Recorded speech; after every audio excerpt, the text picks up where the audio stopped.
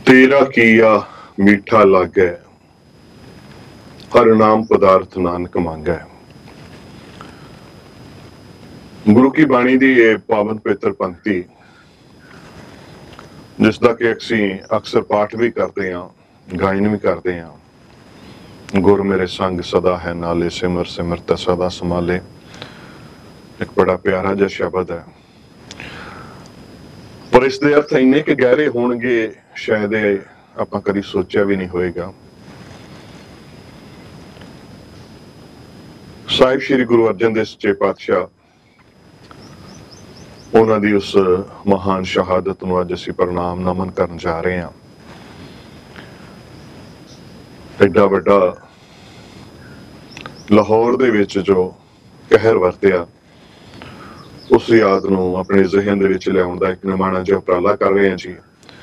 ਸਾਡੇ ਨਾਲ ਭਾਈ ਬਲਵਿੰਦਰ ਸਿੰਘ ਜੀ ਕਥਾਵਾਚਕ ਡੇਰਾਦੂਨ ਵਾਲੇ ਜੁੜ ਚੁੱਕੇ ਨੇ। ਭਾਈ ਸਾਹਿਬ ਜੀ ਵਾਹਿਗੁਰੂ ਜੀ ਕਾ ਖਾਲਸਾ ਵਾਹਿਗੁਰੂ ਜੀ ਕੀ ਵਾਹਿਗੁਰੂ ਜੀ ਫਤਿਹ ਕੀ ਫਤਿਹ।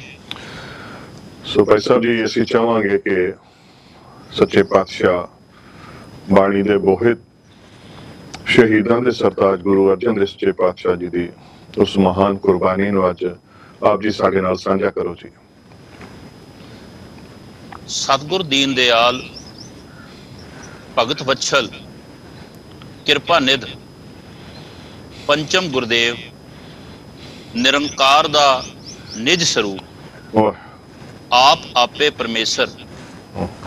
ਧੰਨ ਧੰਨ ਸ੍ਰੀ ਗੁਰੂ ਅਰਜਨ ਦੇਵ ਸੱਚੇ ਪਾਤਸ਼ਾਹ ਜੀ ਦੀ ਸਿਫਤ ਵਡਿਆਈ। ਕੋਈ ਜਿਹਵਾ ਕਰ ਸਕੇ ਇਹ ਸੰਭਵ ਨਹੀਂ। ਜੀ ਧੰਨ ਸ੍ਰੀ ਗੁਰੂ ਗ੍ਰੰਥ ਸਾਹਿਬ ਜੀ ਦੇ ਪਾਵਨ ਸਰੂਪ ਦੇ ਵਿੱਚ ਜੀ ਪੰਚਮ ਪਾਤਸ਼ਾਹ ਦੀ ਵਡਿਆਈ ਕਰਦਿਆਂ ਪੱਟਾ ਨੇ ਬਾ ਕਮਾਲ ਬਚਨ ਉਚਾਰਨ ਕੀਤੇ ਨੇ। ਜੀ। ਜਬ ਲਾਉ ਨਹੀਂ ਭਾਗ ਲੈਲਾਰ ਉਹਦਾ ਤਬ ਲਾਉ ਭਰਬਤੇ ਫਿਰਤੇ ਬਹੁਤਾਇਓ। ਜੀ। ਕਲ ਘੋਰ ਸਮੁੰਦਰ ਮੇ ਬੂਡਤ ਥੇ ਕਬਹੂ ਮਿਟ ਹੈ ਨਹੀਂ ਰੇ ਪਛਤਾਇਓ। ਤਤ ਵਿਚਾਰ ਇਹ ਮਥਰਾ ਜਗ ਤਾਰਨ ਕੋ ਅਵਤਾਰ ਬਨਾਇਓ ਜਪਿਓ ਜਿਨ ਅਰਜਨ ਦੇਵ ਗੁਰੂ ਫਿਰ ਸੰਕਟ ਜੋਨ ਗਰਭ ਨਾ ਆਇਓ ਇੱਕ ਇੱਕ ਅੱਖਰ ਦੇ ਵਿੱਚ ਉਸ ਵੱਡੇ ਕੀਆਂ ਵਡਿਆਈਆਂ ਨੂੰ ਪਾਤਸ਼ਾਹ ਦੀ ਸਿਫਤ ਸਲਾਹ ਨੂੰ ਬਿਆਨ ਕਰਦੇ ਆ ਜੀ। ਭੱਟਾ ਨੇ ਆਪਣੇ ਅੱਖੀ ਉਹ ਕਿਹੜੇ ਨਜ਼ਾਰੇ ਡਿੱਠੇ ਹੋਣਗੇ? ਜੋ। ਉਹਨਾਂ ਦੀ ਮੁਬਾਰਕ ਰਸਨਾ ਤੋਂ ਪ੍ਰਗਟ ਹੋ ਗਏ ਤੇ ਸਦਾ ਲਈ ਅਮਰ ਹੋ। ਜਦੋਂ ਗੁਰੂ ਦੇ ਕੀਰਤਨੀਏ ਰਾਏ ਸੱਤੇ ਤੇ ਬਲਵੰਤ ਜੀ ਦਾ ਜ਼ਿਕਰ ਕਰਦੇ ਆ ਜੀ। ਤੇ ਰਾਏ ਸੱਤੇ ਤੇ ਬਲਵੰਤ ਜੀ ਦੀ ਇੱਕ ਬਾਣੀ ਹਮ, ਜੋ ਕਿ ਰਾਮਕਲੀ ਰਾਗ ਦੇ ਵਿੱਚ ਵਾਰ ਰੂਪ ਵਿੱਚ ਦਰਜ ਹੋਈ ਹੈ ਇਸ ਲਈ ਇਹਨੂੰ ਰਾਮਕਲੀ ਕੀ ਵਾਰ ਵੀ ਕਿਹਾ ਜਾਂਦਾ ਹੈ। ਜੀ ਜੀ ਬਿਲਕੁਲ। ਅਖੰਡ ਕੀਰਤਨੀ ਜਥੇ ਦੇ ਹਮ, ਹਮ, ਦਮਦਮੀ ਟਕਸਾਲ ਦੇ ਪਿਆਰ ਵਾਲੇ ਸਿੱਖ ਨਿਤਨੇਮੀ ਸਿੱਖ ਇਸ ਬਾਣੀ ਨੂੰ ਹਮ, ਨਿਤਾ ਪ੍ਰਤੀ ਪੜਿਆ ਕਰਦੇ ਨੇ। ਜੀ ਜੀ। ਤੇ ਇਸ ਪਾਵਨ ਬਾਣੀ ਦੀ ਜਿਹੜੀ ਅਖੀਰਲੀ ਪੌੜੀ ਹੈ ਨਾ ਜੀ। ਉਹ ਪੰਚਮ ਪਾਤਸ਼ਾਹ ਦੇ ਪਰਥਾਏ ਗੁਰੂ ਕੇ ਕੀਰਤਨੀਆਂ ਨੇ ਉਚਾਰਨ ਕੀਤੀ ਹੈ। ਜੀ। ਜੋ ਗੁਰੂ ਗ੍ਰੰਥ ਸਾਹਿਬ ਵਿੱਚ ਦਰਜ ਹੈ। ਜੀ ਜੀ। ਚਾਰੇ ਜਾਗੇ ਚੌਂ ਜੁਗੀ ਪੰਚਾਇਣ ਆਪੇ ਹੋਆ। ਹਮ, ਆਪੀ ਨੇ ਆਪ ਸਾਜਿਓ ਆਪੇ ਹੀ ਥੰਮ ਖਲੋਆ। ਜੀ। ਆਪੇ ਪੱਟੀ ਕਲਮ ਆਪ ਆਪ। ਲਿਖਣ ਹਰ ਹੋਆ। ਸਭ ਉਮਤ ਆਵਣ ਜਾਵਣੀ ਆਪੇ ਹੀ ਨਵਾਂ ਨਰੋਆ। ਤਖਤ ਬੈਠਾ ਅਰਜਨ ਗੁਰੂ ਸਤਿਗੁਰ ਕਾ ਖਿਵੈ ਚੰਦੋਆ। ਉਗਵਣ ਤੇ ਅਥਮਣੋ ਚੌ ਚੱਕੀ ਕੀਨ ਲੋਆ। ਜਿਨੀ ਗੁਰੂ ਨਾ ਸੇਵਿਓ ਮਨ ਮੁਖਾਂ ਪਿਆ ਮੋਆ। ਦੂਣੀ ਚੌਣੀ ਕਰਾ ਮਾਤ ਸੱਚੇ ਕਾ ਸੱਚਾ ਢੋਆ। ਚਾਰੇ ਜਾਗੇ ਚੌ ਜੁਗੀ। ਪੰਚਾਇਣ ਆਪੇ ਹੋਆ ਓਹੋ। ਐਸੇ ਸਮਰੱਥ। ਓਹੋ। ਸ੍ਰੀ ਗੁਰੂ ਅਰਜਨ ਦੇਵ ਜੀ ਦੀ ਸਿਫਤ ਸਲਾਹ ਕਰ ਸਕਾਂ। ਸੱਚੇ ਪਾਤਸ਼ਾਹ ਐਸੀ ਤੌਫੀਕ ਬਖਸ਼ਣ। ਸਭ ਤੇ ਵੱਡ ਸਮਰੱਥ ਗੁਰਦੇਵ। ਵੱਡੇ ਕੀਆਂ ਵਡਿਆਈਆਂ ਕਿਛ ਕਹਿਣਾ ਕਹਿਣ ਨਾ ਜਾਏ। ਉਸ ਦੀਆਂ ਵਡਿਆਈਆਂ ਕੋਈ ਮਨੁੱਖ ਕੀ ਬਿਆਨ ਕਰੇ? ਜੀ। ਸੋ ਧੰਨ ਪੰਚਮ ਪਾਤਸ਼ਾਹ। ਜੋ ਧੰਨ ਸ੍ਰੀ ਗੁਰੂ ਰਾਮਦਾਸ ਜੀ ਦੇ ਪਾਵਨ ਗ੍ਰਹਿ ਵਿਖੇ ਬੀਬੀ ਭਾਨੀ ਜੀ ਦੇ ਕੁੱਖੋਂ ਓਹੋ। ਗੋਇੰਦਵਾਲ ਸਾਹਿਬ ਦੀ ਪਵਿੱਤਰ ਧਰਤੀ। ਹੂੰ। ਉਹ ਪਾਵਨ ਧਰਤੀ ਜਿੱਥੇ ਜਾਏ ਬਹੇ ਮੇਰਾ ਸਤਿਗੁਰੂ ਸੋ ਥਾਨ ਰਾਮ ਰਾਮ ਰਾਜੇ। ਸਾ ਧਰਤੀ ਪਈ ਹਰਿਆਵਲੀ ਜਿੱਥੇ ਮੇਰਾ ਸਤਿਗੁਰ ਬੈਠਾ ਆਏ। ਇਸ ਪਾਵਨ ਧਰਤੀ ਤੇ ਸਤਿਗੁਰਾਂ ਦਾ ਆਗਮਨ ਹੋਇਆ। ਸੱਚੇ ਪਾਤਸ਼ਾਹ ਨੇ ਬਾਲ ਉਮਰੇ ਹੀ।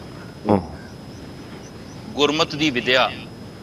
ਆਪ ਆਪਣੇ ਨਾਨਾ ਜੀ ਪਾਸੋਂ ਵਾਹ। ਧੰਨ ਗੁਰੂ ਅਮਰਦਾਸ ਸੱਚੇ ਪਾਤਸ਼ਾਹ ਜੀ ਦੇ ਪਾਸੋਂ ਪ੍ਰਾਪਤ ਕੀਤੀ। ਸੱਚੇ ਪਾਤਸ਼ਾਹ ਦਾ ਨਿਜ ਪਿਆਰ ਆਪਣੇ ਦੋਤਰੇ ਨੂੰ ਗੁਰਮਤ ਦੇ ਰੂਪ ਵਿੱਚ ਬਾਲ ਉਮਰੇ ਹੀ ਪ੍ਰਾਪਤ ਹੋਇਆ।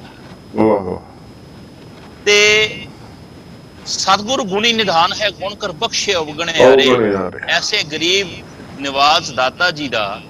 ਜੋ ਜੀਵਨ ਜੀ ਤੇ ਜੀਵਨ ਦੀ ਵਿਲੱਖਣਤਾ। ਉਹ ਬਾਲ ਉਮਰੇ ਹੀ ਪ੍ਰਗਟ ਹੋਣ ਲੱਗ ਪਈ ਜੀ ਜੀ ਕਿਉਂਕਿ ਪਿਤਾ ਗੁਰਦੇਵ। ਧੰਨ ਧੰਨ ਸ੍ਰੀ ਗੁਰੂ ਅਮਰਦਾਸ ਜੀ ਜੋ। ਰਿਸ਼ਤੇ ਵਿੱਚ ਪੰਚਮ ਪਾਤਸ਼ਾਹ ਦੇ ਨਾਨਾ ਜੀ ਸਨ ਉਹਨਾਂ ਦੀਆਂ ਰੱਜ ਕੇ। ਜੋ ਅਸੀਸਾਂ ਜੀ ਜੋ ਪ੍ਰਾਪਤ ਹੋਈਆਂ ਗੁਰੂ। ਪੂਰਾ ਕਿਸੇ ਦੇ। ਸਿਰ ਸੀਸ ਤੇ ਹੱਥ ਰੱਖ ਦੇਵੇ ਉਹਨੂੰ ਸਮਰੱਥ। ਬਣਾ ਦਿੰਦਾ ਹੈ ਤੇ। ਗੁਰੂ ਨੇ ਆਪਣੇ ਦੋਤਰੇ ਨੂੰ ਕਿੰਨੀਆਂ ਬਖਸ਼ਿਸ਼ਾਂ ਤੇ ਰਹਿਮਤਾਂ ਵਰਤਾਈਆਂ ਹੁੰਦੀਆਂ बिल्कुल जी दोहे था पानी का बोहे था ਦੋਏ ਥਾ ਬਾਣੀ ਕਾ ਬਾਣੀ ਬੋਏ ਕਾ ਥਾ ਬੋਏ ਇਹ ਥਾ। ਬਚਨ ਤਾਂ ਸਤਿਗੁਰਾਂ ਬਚਨ। ਨੇ ਆਹਾ। ਤੀਜੇ ਜਾਮੇ ਵਿੱਚ ਓਹੋ। ਪੰਚਮ ਪਾਤਸ਼ਾਹ ਦੇ ਬਾਲ ਉਮਰੇ ਹੀ ਕਰ ਦਿੱਤੇ ਸੀ बिल्कुल जी बिल्कुल ਤੇ ਉਸ ਤੋਂ ਬਾਅਦ ਬੀਬੀ ਭਾਨੀ ਵਰਗੀ ਮਾਤਾ हम्म, हम्म, ਇਹੋ ਜੀ। ਜਿਹਾ ਇਤਿਹਾਸ ਰਚਿਆ ਮੇਰੇ ਸਤਿਗੁਰਾਂ ਓਹੋ। ਨੇ ਤੇ ਇਹ ਅਸੀਸਾਂ ਬਰਕਤਾਂ ਜੀ। ਜਿੱਥੇ ਬੀਬੀ ਭਾਨੀ ਜੀ ਤੋਂ ਪ੍ਰਾਪਤ ਹੋਈਆਂ ਉਥੇ ਨਾਲ ਹੀ ਤਨ ਤਨ ਰਾਮਦਾਸ ਗੁਰ ਜਿਨ ਸਿਰਿਆ ਤਨੇ ਸਵਾਰਿਆ। ਕੋਈ ਕਰਾਮਾਤ ਆਪ ਸਿਰਜਣ ਹਾਰੇ ਧਾਰਿਆ। ਸਿੱਖੀ ਅਤੇ ਸੰਗਤੀ ਪਾਰ ਬ੍ਰਹਮ ਕਰ ਨਮਸਕਾਰਿਆ। ਅਟਲ ਅਥਾ ਅਤੋਲ ਤੂੰ। ਤੇਰਾ ਅੰਤ ਨਾ ਪਾਰਾ ਵਾਰਿਆ ਵਾਹ ਵਾਹ। ਉਹ ਗੁਰੂ ਜਿਨੀ ਤੂੰ ਸੇਵਿਆ ਭਾਉ ਕਰ ਸੇ ਤੁਧ ਪਾਰ ਉਤਾਰਿਆ। ਲਬ ਲੋਭ ਕਾਮ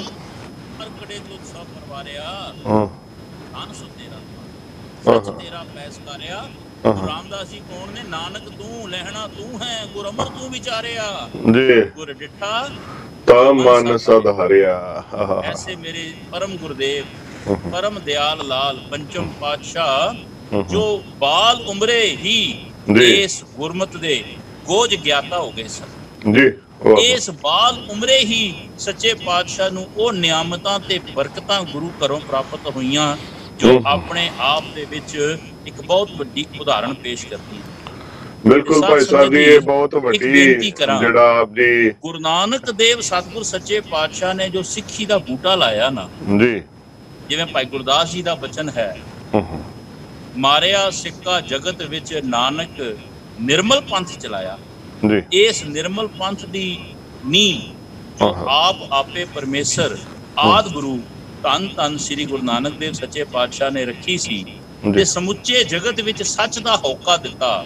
ਜੀ। ਸਮੁੱਚੇ ਜਗਤ ਨੂੰ ਇੱਕੋ ਪਰਮੇਸ਼ਵਰ ਦਾ ਪਰਿਵਾਰ ਦਰਸਾ ਕੇ ਆਪਣੀ ਗਲਵਕੜੀ ਨਾਲ ਲਾਇਆ ਨਾ ਕੋ ਬਹਿਰੀ ਨਾ ਹੈ ਬੇਗਾਨਾ ਸਗਲ ਸੰਗ ਹਮਕੋ ਹੂੰ, ਹੂੰ, ਐਸੀ ਵਿਚਾਰਧਾਰਾ ਨੂੰ ਸਾਰੇ ਜਗਤ ਵਿੱਚ ਵੰਡਿਆ। ਛੇਬਰਾਂ ਲਾਈਆਂ ਬਾਬੇ ਨਾਨਕ ਨੇ ਬਿਲਕੁਲ। ਧੰਨ ਧੰਨ ਸ੍ਰੀ ਗੁਰੂ ਅੰਗਦ ਦੇਵ ਸੱਚੇ ਪਾਤਸ਼ਾਹ ਨੇ ਆਪਣੀ ਸਿਆਣਪ ਦੇ ਨਾਲ ਤੇ। ਗੁਰੂ ਨਾਨਕ ਦੀਆਂ ਬਖਸ਼ਿਸ਼ ਕੀਤੀਆਂ ਹੋਈਆਂ ਬਰਕਤਾਂ ਦੇ ਨਾਲ ਇਸ ਬੂਟੇ ਨੂੰ ਓਹੋ। ਬੈਠ। ਖਡੂਰੇ ਜੋਤ ਜਗਾਈ।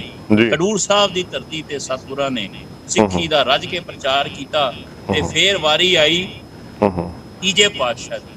ਜਿਨ੍ਹਾਂ ਨੇ ਸੇਵਾ ਤੇ ਸਿਮਰਨ ਦਾ ਸਦਕਾ ਇੱਕ ਐਸੀ ਸੇਵਾ ਤੇ ਸਿਮਰਨ ਦੀ ਬਾ ਕਮਾਲ ਮੂਰਤ ਪੇਸ਼ ਕੀਤੀ। ਤੇ ਬਾਬੇ ਨਾਨਕ ਦੇ ਲਾਏ ਹੋਏ ਇਸ ਸਿੱਖੀ ਦੇ ਬੂਟੇ ਨੂੰ ਬੜੇ ਪਿਆਰ ਦੇ ਨਾਲ ਸਿੰਜਿਆ ਤੇ ਫੇਰ। ਵਾਰੀ ਆਈ ਭਾਈ ਜੇਠਾ ਜੀ ਦੀ ਜੋ। ਗੁਰੂ ਅਮਰਦਾਸ ਜੀ ਨੇ ਗੁਰੂ ਰਾਮਦਾਸ ਥਾਪੇ ਤੇ। ਮੇਰੇ ਸੋਢੀ ਸੁਲਤਾਨ ਸੱਚੇ ਪਾਤਸ਼ਾਹ। ਜ਼ਾਹਰ ਪੀਰ ਆਪ। ਉਹਨਾਂ ਨੇ। ਨਿਮਰਤਾ ਦੇ ਨਾਲ ਇਸ ਸਿੱਖੀ ਦੇ ਬੂਟੇ ਨੂੰ ਸਿੰਜ। ਕੇ। ਇੱਕ ਘੜ ਛਾਵਾਂ ਬ੍ਰਿਸ਼ ਬਣਾ ਦਿੱਤਾ ਜਦੋਂ ਪੰਚਮ ਪਾਤਸ਼ਾਹ ਗੁਰਤਾ ਗੱਦੀ ਤੇ ਵਿਰਾਜਮਾਨ ਹੋਏ ਨਾ ਤਾਂ ਤੱਕ ਸਿੱਖੀ ਦਾ ਬਹੁਤ ਪ੍ਰਚਾਰ ਹੋ ਚੁੱਕਿਆ ਸੀ ਹਰ। ਪਾਸੇ ਸਿੱਖੀ ਦੀਆਂ ਤੁਮਾਂ ਪਈਆਂ ਹੋਈਆਂ ਸੀ ਬਿਲਕੁਲ ਭਾਈ ਸਾਹਿਬ ਹੁਣ ਲੋੜ ਸੀ ਲਹੂ ਦੇ। ਨਾਲ ਇਸ ਬੂਟੇ ਨੂੰ। ਸਿੰਜਣ ਦੀ ਤਾਂ। ਜੇ ਇਹਦੀਆਂ ਜਿਹੜੀਆਂ ਜੜਾਂ ਨੇ ਹੋਰ ਡੂੰਘੀਆਂ ਹੋਣ ਮਜ਼ਬੂਤ ਹੋਣ। ਹੁਣ ਵਾਰੀ ਆਈ ਪੰਚਮ ਪਾਤਸ਼ਾਹ ਦੀ ਜਿਨ੍ਹਾਂ ਨੇ। ਪਹਿਲੀਆਂ ਚੌ ਚਾਰ ਪਾਤਸ਼ਾਹੀਆਂ ਤੋਂ ਸੇਵਾ ਸਿਮਰਨ ਨਿਮਰਤਾ ਜੀ ਤੇ ਆਪ ਕਰਨੀ ਤੇ ਕਥਨੀ ਦੇ ਪ੍ਰਧਾਨ ਹੋ ਕੇ। ਇਸ ਬੂਟੇ ਨੂੰ ਸਿੰਜਿਆ ਤੇ ਜਿਸ ਦੀ ਖੁਸ਼ਬੂ ਹਮ। ਦੇ ਫਲ ਸਾਰੇ। ਜਗਤ ਨੇ ਪ੍ਰਾਪਤ ਕੀਤੇ ਤੇ। ਇਸ ਘਣ ਛਾਵੇਂ ਬੂਟੇ ਨੂੰ ਸਾਰੇ ਜਗਤ ਨੇ ਮਾਣੇ ਸੋ ਬਿਲਕੁਲ ਭਾਈ ਸਾਹਿਬ ਜੀ ਇਸ ਘਣਸ਼ਾਵੇਂ ਬੂਟੇ ਦੀ ਜਿਹੜੀ ਛਾਂ ਆ ਸੰਘਣੀ ਛਾਂ ਉਹ ਉਸ ਵਕਤ ਸਾਰੀਆਂ ਸੰਗਤਾਂ ਮਾਣਦੀਆਂ ਪਈਆਂ ਸਨ ਇਸ ਗੱਲ ਦੇ ਵਿੱਚ ਕੋਈ ਸ਼ੱਕ ਨਹੀਂ ਅ ਸਤਿਗੁਰ ਸੱਚੇ ਪਾਤਸ਼ਾਹ ਸੱਚਖੰਡ ਸ੍ਰੀ ਹਰਿਮੰਦਰ ਸਾਹਿਬ ਵਿਖੇ ਸਾਡੇ ਉਸ ਪਵਿੱਤਰ ਅਸਥਾਨ ਦੇ ਉੱਤੇ ਜਿੱਥੇ ਮਹਾਰਾਜ ਨੇ ਪ੍ਰਕਾਸ਼ ਕੀਤਾ, ਸੰਤਾਂ ਕੇ ਕਾਰਜ ਆਪ ਖਲੋਆ, ਹਰ ਕੰਮ ਕਰਾਵਣ ਆਇਆ ਰਾਮ। ਸੋ ਸਤਿਗੁਰ ਸੱਚੇ ਪਾਤਸ਼ਾਹ ਜੀ ਦੀ ਵਡਿਆਈ, ਅਹ, ਇਹਦੇ ਵਿੱਚ ਕੋਈ ਸ਼ੱਕ ਨਹੀਂ। ਵੇਖੋ ਜਿਹੜੇ ਆਪ ਜੀ ਨੇ ਹੁਣੇ ਵਿਚਾਰ ਸਾਂਝੇ ਕੀਤੇ ਨੇ ਕਿ ਸਾਡਾ ਕੇਂਦਰੀ ਅਸਥਾਨ ਵੀ ਸਥਾਪਿਤ ਹੋ ਗਿਆ।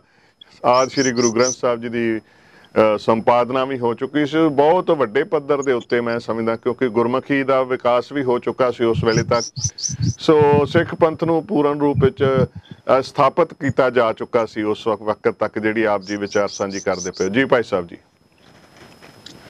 ਅਸਲ ਵਿੱਚ ਸਚਾਈ ਦਾ ਤੇ ਬੁਰਾਈ ਦਾ ਆਦ ਕਾਲ ਤੋਂ ਹੀ ਜਿਹੜਾ ਹੈ ਵਿਵਾਦ ਰਿਹਾ ਹੈ।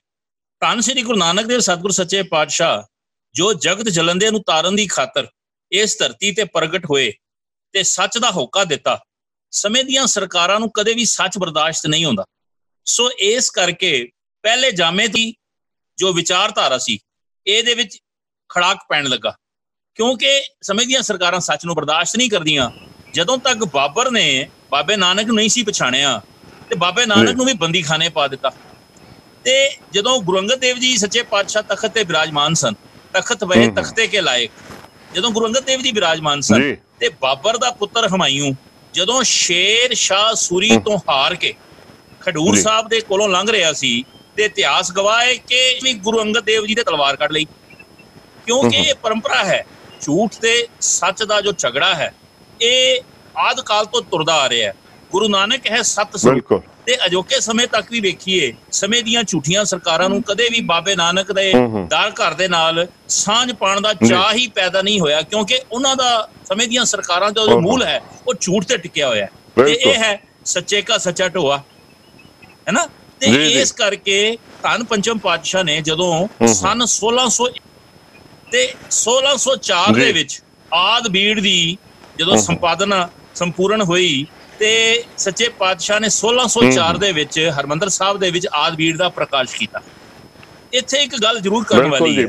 ਜਦੋਂ ਪੰਚਮ ਪਾਤਸ਼ਾਹ ਦੇਖੋ ਕੈਸੇ ਤ੍ਰੈਕਾਲਦਰਸ਼ੀ ਨੇ ਅੱਜ ਪੰਚਮ ਪਾਤਸ਼ਾਹ ਦੀ ਗੱਲ ਕਰ ਰਹੇ ਹਾਂ। ਜਦੋਂ ਜੀ।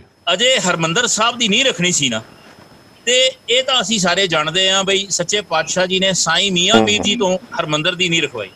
ਪਰ ਕਈ ਜਿਹੜੇ ਸਿੱਖ ਗੁਰੂ ਦੀ ਵਡਿਆਈ ਨੂੰ ਨਹੀਂ ਜਾਣਦੇ। ਕਈ ਵਾਰ ਉਹਨਾਂ ਦੇ ਅੰਦਰ ਇੱਕ। ਸਵਾਲ ਆਉਂਦਾ ਹੈ ਬਈ ਉਸ ਸਮੇਂ ਬੜੇ ਬ੍ਰਹਮ ਗਿਆਨੀ ਆਖਰ ਗੁਰੂ ਸਾਹਿਬ ਨੇ ਸਾਈਂ ਮੀਆਂ ਮੀਰ ਨੂੰ ਹੀ ਕਿਉਂ ਚੁਣਿਆ?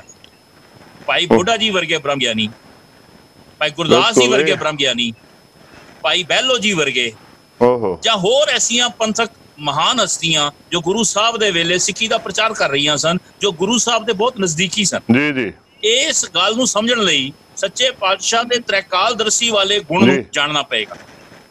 ਸੱਚੇ। ਪਾਤਸ਼ਾਹ ਜੀ ਨੇ ਇਸ ਹਰਮੰਦਰ ਦੇ ਨੀਂਹ ਰੱਖਣ। ਦੇ ਲਈ ਭਾਈ ਸਾਈਂ ਮੀਆਂ ਮੀਰ ਜੀ ਨੂੰ ਕਿਉਂ ਚੁਣਿਆ ਕਿਉਂਕਿ ਇੱਕ ਤਾਂ ਸਤਿਗੁਰੂ ਸਾਰੇ ਧਰਮਾਂ। ਦਾ ਸਤਿਕਾਰ ਕਰਦੇ ਸਨ ਇਹਦੇ ਵਿੱਚ ਕੋਈ ਸ਼ੱਕ ਨਹੀਂ ਗੁਰੂ ਨਾਨਕ ਨੇ ਨਾ ਕੋ ਬੈਰੀ ਨਾ ਹੈ ਬੇਗਾਨਾ ਸਗਲ ਸੰਗ ਹਮਕੋ ਬਣਾਈ ਇਸ ਉਪਦੇਸ਼ ਦੇ ਨਾਲ ਹੀ ਸਾਰੇ। ਜਗਤ ਨੂੰ ਸੱਚ ਦਾ ਮਾਰਗ ਦਰਸਾਇਆ ਤੇ ਪੰਚਮ ਪਾਤਸ਼ਾਹ ਕਿਉਂਕਿ ਜਾਣਦੇ ਸਨ ਇਹ। ਇਤਿਹਾਸ ਸਮਾਜ ਅੱਜ ਸਾਡੇ ਮੁਸਲਮਾਨ ਭਰਾਵਾਂ ਦੇ ਨਾਲ ਸਾਈਂ ਮੀਆਂ ਮੀਰ ਜੀ ਨੂੰ ਸਦਾ। ਭੇਜਣਾ ਸੀ ਹਰਮੰਦਰ ਦਾ ਨੀਂਹ ਰੱਖਣ ਵਾਸਤੇ ਉਸ ਵੇਲੇ ਸਾਈਂ ਮੀਆਂ ਮੀਰ ਜੀ ਲਾਹੌਰ ਦੀ ਧਰਤੀ ਤੇ ਵਿਚਰ ਰਹੇ ਸਨ ਪੰਜ ਵਕਤ ਦੇ। ਨਮਾਜ਼ੀ ਅੱਲਾਹ ਪਾਕ। ਦੇ ਬੜੇ ਪਿਆਰੇ ਮੁਸਲਮਾਨ ਜੋ ਕੁਰਾਨੇ ਪਾਕ। ਤੇ ਭਰੋਸਾ ਰੱਖਣ ਵਾਲੇ ਤੇ ਸੱਚੇ ਪਾਤਸ਼ਾਹ ਗੁਰੂ ਅਰਜਨ ਦੇਵ ਜੀ ਅੰਮ੍ਰਿਤਸਰ ਸਾਹਿਬ ਦੀ ਧਰਤੀ ਸਨ ਤੇ ਉਸ ਸਮੇਂ ਉਸ ਸਮੇਂ ਸਤਿਗੁਰੂ ਕੇਵਲ ਸਦਾ ਭੇਜਦੇ ਤੇ ਸਾਈਂ ਮੀਆਂ ਮੀਰ ਜੀ ਦੇ ਤਾਂ ਵੀ ਆਉਣਾ ਸੀ। ਕਿਉਂਕਿ ਗੁਰੂ ਅਰਜਨ ਦੇਵ ਜੀ ਦਾ ਬੜਾ ਸਤਿਕਾਰ। ਕਰਦੇ ਸਨ ਸਤਿਗੁਰਾਂ ਨੇ ਅੰਮ੍ਰਿਤਸਰ ਸਾਹਿਬ ਤੋਂ 101 ਸਿੱਖ ਜੱਥਾ ਸਿੱਖਾਂ ਦਾ ਜੱਥਾ ਭੇਜਿਆ 101 ਸਿੱਖ ਜੋ ਲਾਹੌਰ ਸਾਈਂ ਮੀਆਂ ਮੀਰ ਜੀ ਨੂੰ ਸੱਦਾ ਦੇਣ। ਲਈ ਗਏ ਜਦੋਂ ਸਾਈਂ ਮੀਆਂ ਮੀਰ ਜੀ ਗੁਰੂ ਅਰਜਨ ਦੇਵ ਜੀ ਦਾ ਸੱਦਾ ਪਾ ਕੇ ਆਪਣੇ ਆਪ ਨੂੰ ਵਡਭਾਗਾ ਮਹਿਸੂਸ ਕਰਦਿਆਂ ਹੋਇਆ ਤੁਰਨ ਲੱਗੇ ਨਾ ਤੇ ਉਹ 101 ਸਿੱਖਾਂ ਦੇ ਜੱਥੇ ਨੇ। ਰੋਕਿਆ ਕਹਿੰਦੇ ਸਾਈਂ ਜੀ ਤੁਸੀਂ ਇਦਾਂ ਨਹੀਂ ਜਾਣਾ। ਸਾਨੂੰ ਪੰਚਮ ਪਾਤਸ਼ਾਹ ਦਾ ਹੁਕਮ ਹੈ ਸਾਈਂ ਜੀ ਨੂੰ ਪਾਲਕੀ ਤੇ ਵਿਰਾਜਮਾਨ ਕਰਾ ਕੇ ਤੇ ਮੋਢਿਆਂ ਤੇ ਸਵਾਰ। ਕਰਕੇ ਲਿਆਉਣਾ ਹੈ 101 ਸਿੱਖ ਸਾਈਂ ਮੀਆਂ ਮੀਰ ਜੀ ਨੇ ਮੋਢਿਆਂ ਤੇ। ਪਾਲਕੀ ਜਿਹੜੀ ਹੈ ਉਹ ਲੈ ਕੇ ਤੇ ਅੰਮ੍ਰਿਤਸਰ ਸਾਹਿਬ ਪੁਜੇ ਇਹ। ਚੀਜ਼ਾਂ ਇਤਿਹਾਸ ਤੋਂ ਅਣਗੋਲੀਆਂ ਨੇ ਕਾਸ਼ ਅਸੀਂ ਆਪਣੇ ਇਤਿਹਾਸ ਦਾ ਇਮਾਨਦਾਰੀ ਦੇ ਨਾਲ ਪ੍ਰਚਾਰ ਕਰਦੇ ਤਾਂ ਜੋ। ਦੁਨੀਆ ਜਾਣ ਸਕਦੀ ਕਿ ਗੁਰੂ ਬਾਬਾ ਜੀ। ਨੇ ਸਾਰੇ ਧਰਮਾਂ ਦਾ ਕਿਵੇਂ ਸਤਿਕਾਰ ਕਰਨਾ ਸਿਖਾਇਆ ਹੁਣ ਇੱਥੇ ਸਵਾਲ ਫੇਰ ਬਰਕਰਾਰ ਹੈ। ਕਿ ਸਾਈਂ ਮੀਆਂ ਮੀਰ ਜੀ ਹੀ ਕਿਉਂ ਅਸਲ ਵਿੱਚ ਸਤਿਗੁਰੂ ਤ੍ਰੈਕਾਲਦਰਸ਼ੀ ਨੇ ਤਿੰਨਾਂ। ਭਾਵਨਾ ਦੀ ਸੋਝੀ ਰੱਖਦੇ ਨੇ। ਹਰ ਸਮੇਂ ਆਉਣ ਵਾਲੇ ਸਮੇਂ 'ਚ ਕੀ ਹੋਣਾ ਸਤਿਗੁਰੂ ਭਲੀ ਭਾਂਤ ਜਾਣਦੇ ਸਨ। ਸੱਚੇ ਪਾਤਸ਼ਾਹ ਨੇ ਲਾਹੌਰ ਵਿੱਚ ਵਸਦੇ ਹੋਏ ਸਾਈਂ ਮੀਆਂ ਮੀਰ ਜੀ ਦੀ ਚੋਣ ਇਸ ਕਰਕੇ ਕੀਤੀ ਉਹ ਜਾਣਦੇ ਸਨ ਅੱਜ ਅੰਮ੍ਰਿਤਸਰ ਸਾਹਿਬ ਹਰਮੰਦਰ ਦੀ ਨੀਂਹ ਰੱਖਣ ਵਾਸਤੇ ਅੱਜ ਲਾਹੌਰ ਤੋਂ ਇੱਕ ਖੁਦਾ ਦੇ ਪਿਆਰੇ ਮੁਸਲਮਾਨ ਨੂੰ ਸਾਈਂ ਮੀਆਂ ਮੀਰ ਨੂੰ ਸੱਦਾ ਭੇਜਿਆ ਜੋ ਲਾਹੌਰ ਤੋਂ ਚੱਲ ਕੇ ਅੰਮ੍ਰਿਤਸਰ ਹਰਮੰਦਰ ਦੀ। ਨੀਂਹ ਰੱਖਣ ਆ ਰਹੇ ਨੇ ਕੱਲ ਸਮਾਂ ਆਉਣਾ ਹੈ ਤੇ ਸ਼ਹੀਦੀ ਪਰੰਪਰਾ ਦੀ। ਨੀਂਹ ਰੱਖਣ ਵਾਸਤੇ ਜਾਣ ਸੱਚੇ ਪਾਤਸ਼ਾਹ ਕੈਸੇ ਦੂਰਦ੍ਰਿਸ਼ਟਾ ਸਾਈਂ ਮੀਆਂ ਮੇਰਾ। ਇੱਕ ਇੱਕ ਸਮਾਂ ਸੀ ਲਾਹੌਰ ਦੀ ਧਰਤੀ ਤੋਂ ਨੀਂਹ ਰੱਖਣ ਵਾਸਤੇ ਸਾਈਂ ਮੀਆਂ ਮੀਰ ਜੀ ਆਏ ਤੇ ਇੱਕ ਸਮਾਂ ਸੀ ਅੰਮ੍ਰਿਤਸਰ ਦੀ ਧਰਤੀ ਤੋਂ ਗੁਰੂ ਸਾਹਿਬ ਲਾਹੌਰ ਗਏ ਸ਼ਹੀਦੀ ਪਰੰਪਰਾ। ਦੀ ਨੀਂਹ ਰੱਖਣ ਵਾਸਤੇ। ਬਿਲਕੁਲ ਮੈਂ ਸਮਝਦਾ ਕਿ ਤੇ ਸਤਿਗੁਰ ਸੱਚੇ ਪਾਤਸ਼ਾਹ ਜੀ ਦੀ ਜਿਵੇਂ ਆਪ ਜੀ ਨੇ ਪਹਿਲਾਂ ਹੀ ਗੁਰਬਾਣੀ ਦਾ ਬਚਨ ਉਚਾਰਨ ਕੀਤਾ ਵੱਡੇ ਕੀਆਂ ਵੱਡੇ ਹਈਆਂ ਕਿਛ ਕਹਿਣਾ ਕਹਿਣ ਨਾ ਜਾਏ। ਸਤਿਗੁਰ ਗੁਰੂ- ਸੱਚੇ ਪਾਤਸ਼ਾਹ ਜੀ ਦੀ ਗੁਰੂ ਬੇਅੰਤ ਹੈ। ਵੇਖੋ ਬੇਅੰਤ। ਐਡੀ ਵੱਡੀ ਵਡਿਆਈ ਹੈ ਮੇਰੇ ਸਾਹਿਬ ਦੀ। ਤੇ ਵੇਖੋ ਸਾਈਂ ਮੀਆਂ ਮੀਰ ਵਰਗੇ ਦਰਵੇਸ਼ ਜਿਹੜੇ ਨੇ ਵਾਹ ਵਾਹ। ਉਹਨਾਂ ਦੇ ਨਾਲ ਐਸੀਆਂ ਸਾਂਝਾਂ। ਐਸੀਆਂ ਸਾਂਝਾਂ। ਵੇਖੋ ਅੱਜ ਕੁੱਲ ਇਸਲਾਮ ਜਗਤ ਦੇ ਵਿੱਚ ਈਦ ਮਨਾਈ ਜਾ ਰਹੀ ਹੈ ਤੇ ਅੱਜ ਦੇ ਦਿਨ ਇਹ ਕੁਦਰਤੀ ਇਸ ਸਾਲ ਇਹ ਸਬਬ ਬਣ ਗਿਆ ਕਿ ਇੱਕੋ ਦਿਨ ਦੋਨੋਂ ਜਿਹੜੇ ਨੇ ਦਿਹਾੜੇ ਆਏ ਨੇ। ਤੇ ਮੈਂ ਸਮਝਦਾ ਅੱਜ ਸਾਈਂ ਮੀਆਂ ਮੀਰ ਜੀ ਨੂੰ ਵੀ ਆਪਾਂ ਸਾਰੇ ਯਾਦ ਕਰਦੇ ਪਏ ਆ ਤੇ ਬੰਦਗੀ ਕਰਦੇ ਨੇ ਜਦੋਂ ਸਾਈਂ ਮੀਆਂ ਮੀਰ ਜੀ ਦਾ ਜ਼ਿਕਰ। ਕਰਦੇ ਆ ਤੇ ਉਸ ਸਮੇਂ ਗੁਰੂ ਅਰਜਨ ਦੇਵ ਜੀ ਦਾ ਭਗਤ ਵਛਲ ਵਾਲਾ ਸਰੂਪ ਸਾਹਮਣੇ ਆਉਂਦਾ ਜੀ ਐਸੇ ਭਗਤ ਵਛਲ ਜੇ ਮਾਣ ਦੇਣਾ ਸੀ ਤੇ ਬਾਬਾ ਬੁੱਢਾ ਜੀ ਨੂੰ ਕਿੰਨਾ ਮਾਣ ਦਿੱਤਾ ਭਾਈ ਗੁਰਦਾਸ ਜੀ ਨੂੰ। ਕਿੰਨਾ ਮਾਣ ਦਿੱਤਾ ਜੇ ਮਾਣ ਦੇਣ ਤੇ ਆਏ। ਤੇ ਸਾਈਂ ਮੀਆਂ ਮੀਰ ਨੂੰ ਵੀ ਬਖਸ਼ ਦਿੱਤਾ ਸਾਈਂ ਮੀਆਂ ਮੀਰ ਨੂੰ ਵੀ ਆਪਣੀ ਗਲਵਕੜੀ ਵਿੱਚ ਲੈ ਕੇ ਸਾਰੀ ਜ਼ਿੰਦਗੀ ਵਾਸਤੇ ਜਦੋਂ ਤੱਕ ਹਰਮੰਦਰ ਦਾ ਜ਼ਿਕਰ ਹੋਏਗਾ ਸਾਈਂ ਮੀਆਂ ਮੀਰ ਦੇ ਰੱਖੇ ਹੋਏ ਨੀਂਹ ਪੱਥਰ ਦਾ ਜ਼ਿਕਰ। ਵੀ ਨਾਲ ਨਾ ਹੋਇਆ ਇਹ ਨੇ ਵੱਡੇ ਕੀਆਂ ਵਡਿਆਈਆਂ ਕਿਛ ਕਹਿਣਾ ਕਹਿਣਾ ਜਾਏ। ਇਹ ਹੈ ਗੁਰੂ ਅਰਜਨ ਦੇਵ ਜੀ ਦਾ ਭਗਤ ਵਛਲ ਸਰੂਪ ਹੁਣ ਸਮੇਂ ਦੀਆਂ। ਸਰਕਾਰਾਂ। ਮੈਂ ਸਮਝਦਾ ਭਾਈ ਸਾਹਿਬ ਮਾਫ ਕਰਨਾ ਤਾਂ ਅੱਗੇ ਵਧਣ ਤੋਂ ਪਹਿਲਾਂ ਨਾ ਇੱਕ ਬੜਾ ਜ਼ਰੂਰੀ ਨੁਕਤਾ ਜਿਹੜਾ ਤੁਸੀਂ ਵਿਚਾਰ ਕਰ ਰਹੇ ਹੋ ਨਾ ਮੈਂ ਸਮਝਦਾ ਕਿ ਇਹਨਾਂ ਸਾਂਝਾਂ ਨੂੰ ਹੋਰ ਪੱਕਿਆਂ ਕਰਨ ਦੀ ਜ਼ਰੂਰਤ ਹੈ ਆਪ ਜੀ ਨੇ ਵੀ। ਥੋੜੀ ਦੇਰ ਪਹਿਲਾਂ ਵਿਚਾਰ ਇਸ ਤੇ ਥੋੜਾ ਜਿਹਾ ਵੇਖੋ ਸਾਨੂੰ ਗੁਰੂ ਸਾਹਿਬ ਜੀ ਨੇ ਕਿੱਡਾ ਵੱਡਾ ਇੱਕ ਵਿਸ਼ਾਲ ਹਿਰਦਾ ਅਪਣਾਉਣ ਦਾ ਸੰਦੇਸ਼ ਜਿਹੜਾ ਇਸ ਘਟਨਾ ਦੇ ਰਾਹੀਂ ਹੀ ਦਿੱਤਾ ਹੈ। ਕਿ ਆਪਣੇ ਸਭ ਤੋਂ ਪਵਿੱਤਰ। ਸਥਾਨ ਉਹਨਾਂ ਨੂੰ ਪਤਾ ਸੀ ਕਿ ਡਿੱਠੇ ਸਭੇ ਥਾਵ ਨਹੀਂ ਤੁਧ ਜਿਹੇ ਬਧੋ ਪੁਰਖ ਵਿਦਾਤੇ ਤਾਂ ਤੂੰ ਸੋਹਿਆ। ਵਸਦੀ ਸਗਲ ਅਪਾਰ ਅਨੂਪ ਰਾਮਦਾਸ ਹਰ ਹਾਂ ਨਾਨਕ ਕਸਮ ਲਜਾਏ ਨਾਇਆ ਰਾਮਦਾਸ ਸਰ। ਰਾਮਦਾਸ ਸਰ। ਵਾਹ। ਹੈ? ਸੋ ਐਸੇ ਪਵਿੱਤਰ ਦਰ ਘਰ ਦੀ ਨੀਂਹ ਰੱਖਣੀ ਤੇ ਉਹਦੇ ਵਾਸਤੇ ਵੇਖੋ ਪਾਵਨ ਦਰ ਕਿਹੜਾ ਇਹ ਪਾਵਨ ਦਰ ਕਿਹੜਾ ਕਿ ਜਦੋਂ ਧੰਨ ਸ੍ਰੀ ਗੁਰੂ। ਰਾਮਦਾਸ ਜੀ ਨੇ। ਸਰੋਵਰ ਦਾ ਟੱਕ ਲਾਇਆ ਸੀ ਨਾ ਰਾਮਦਾਸ ਸਰੋਵਰ ਨਹਾਤੇ ਸਭ ਉਤਰੇ ਪਾਪ ਕਮਾਤੇ ਜਦੋਂ ਸਰੋਵਰ ਦਾ ਟੱਕ ਲਾਇਆ ਕਿਉਂਕਿ। ਇਹ ਸਾਰੀ ਸੰਗਤ ਨੂੰ ਭਲੀ ਭਾਂਤ ਪਤਾ ਹੈ ਕਿ। ਹਰਮੰਦਰ ਸਾਹਿਬ ਸਰੋਵਰ ਦਾ ਟੱਕ ਗੁਰੂ ਰਾਮਦਾਸ ਨੇ ਲਾਇਆ। ਸੀ ਤੇ ਸੱਚੇ ਪਾਤਸ਼ਾਹ ਜਦੋਂ ਸਰੀਰਕ ਜਾਮਾ ਤਿਆਗਣ ਦਾ ਸਮਾਂ ਆਇਆ ਤੇ ਪੰਚਮ ਪਾਤਸ਼ਾਹ ਨੂੰ ਜਦੋਂ ਗੁਰਤਾ ਗੱਦੀ ਤੇ ਵਿਰਾਜਮਾਨ ਕੀਤਾ ਤੇ ਇੱਕ। ਬਚਨ ਬੜਾ ਕਮਾਲ ਦਾ ਕੀਤਾ ਸੀ ਚੌਥੇ ਪਾਤਸ਼ਾਹ ਨੇ। ਉਹਨਾਂ ਨੇ ਧੰਨ ਗੁਰੂ ਰਾਮਦਾਸ ਜੀ ਨੇ ਗੁਰੂ ਅਰਜਨ। ਦੇਵ ਜੀ ਨੂੰ ਬਚਨ ਕੀਤਾ ਇਸ ਸਰੋਵਰ ਦੀ ਸੇਵਾ ਸਾਡਾ। ਨਿਜ ਜਿਹੜੇ ਸਰੋਵਰ ਤੇ ਕਿੰਤੂ ਕਰਦੇ ਨੇ ਜਿਹੜੇ। ਮਰਿਆਦਾ ਦੇ ਕਿੰਤੂ ਕਰਦੇ ਨੇ। ਕਾਸ਼ ਗੁਰੂ ਰਾਮਦਾਸ ਜੀ। ਦੇ ਇਹਨਾਂ ਬਚਨਾਂ ਨੂੰ ਸੁਣ ਲੈਣ ਕਮਾਉਣਾ ਤੇ ਬੜੀ ਵੱਡੀ ਬਾਤ ਹੈ ਕਮਾ ਤਾਂ ਕੋਈ ਵਿਰਲਾ ਹੀ ਸਕਦਾ ਹੈ ਗੁਰੂ ਰਾਮਦਾਸ ਜੀ ਦਾ ਬਚਨ ਕਿ ਇਸ ਸਰੋਵਰ ਦੀ ਸੇਵਾ ਸਾਡਾ ਨਿਜ ਸਰੂਪ ਜਾਣ ਕੇ ਕਰਨੀ ਯਾਨੀ ਕਿ ਅੱਜ ਵੀ ਉਸ ਪਾਵਨ ਸਰੂਪ ਦੇ ਵਿੱਚ ਕਰਾਮਾਤਾਂ ਪ੍ਰਤੱਖ ਵਰਤ ਰਹੀਆਂ। ਬਿਲਕੁਲ ਬਿਲਕੁਲ ਇਹ ਕਰਾਮਾਤਾਂ ਵਰਤ ਰਹੀਆਂ ਤੇ ਵਰਤਦੀਆਂ ਰਹਿਣੀਆਂ ਨੇ। ਸਦਾ ਵਰਤਦੀਆਂ ਰਹਿਣੀਆਂ। ਮੈਂ ਭਾਈ ਸਾਹਿਬ ਤੁਹਾਡਾ ਧਿਆਨ ਇਸ ਗੱਲ ਵੱਲ ਦਵਾ ਰਿਹਾ ਸੀ ਕਿ ਅਸੀਂ ਇਸ ਗੱਲ ਨੂੰ ਥੋੜਾ ਜਿਹਾ ਮੈਂ ਸਮਝਦਾ ਕਿ ਪਿੱਛੇ ਪਾਇਆ ਹੋਇਆ। ਠੀਕ ਹੈ ਅਸੀਂ ਸ਼ਤਾਬਦੀਆਂ ਤੇ ਮੌਕੇ ਤੇ ਜਾਂ ਹੋਰ ਵੱਡਿਆਂ ਮੌਕਿਆਂ ਦੇ ਉੱਪਰ ਬਾਕੀ ਧਰਮਾਂ ਦੇ ਜਿਹੜੇ ਮਹਾਪੁਰਖ ਨੇ ਜਾਂ ਸਾਈਂ ਲੋਕ ਨੇ ਉਹਨਾਂ ਨੂੰ ਬੁਲਾਉਂਦੇ ਆ ਉਹਨਾਂ ਦੇ ਨਾਲ ਵਿਚਾਰ ਗੋਸ਼ਟੀਆਂ ਹੁੰਦੀਆਂ ਨੇ। ਪਰ ਜਿੱਦਾਂ ਵੇਖੋ ਐਸੇ ਮੌਕੇ ਜਦ ਅਸੀਂ ਕੋਈ ਨਵਾਂ ਕਾਰਜ ਸ਼ੁਰੂ ਕਰਨਾ ਹੋਏ ਮੰਨ ਲਓ ਕੋਈ ਵੀ ਪੰਥਕ ਕਾਰਜ ਆ ਮੈਂ ਸਮਝਦਾ ਉਸ ਮੌਕੇ ਵੀ ਆਪਾਂ ਉਹਨਾਂ ਨੂੰ ਜੇ ਮਾਣ ਸਤਿਕਾਰ ਦਈਏ ਤੇ ਸਾਡੀਆਂ ਜਿਹੜੀਆਂ ਸਾਂਝਾਂ ਨੇ ਹੋਰ ਪੱਕੀਆਂ ਹੋਣਗੀਆਂ। ਇਹ ਇਹ ਬੜੀ ਜ਼ਰੂਰਤ ਹੈ ਇਸ ਗੱਲ ਦੀ।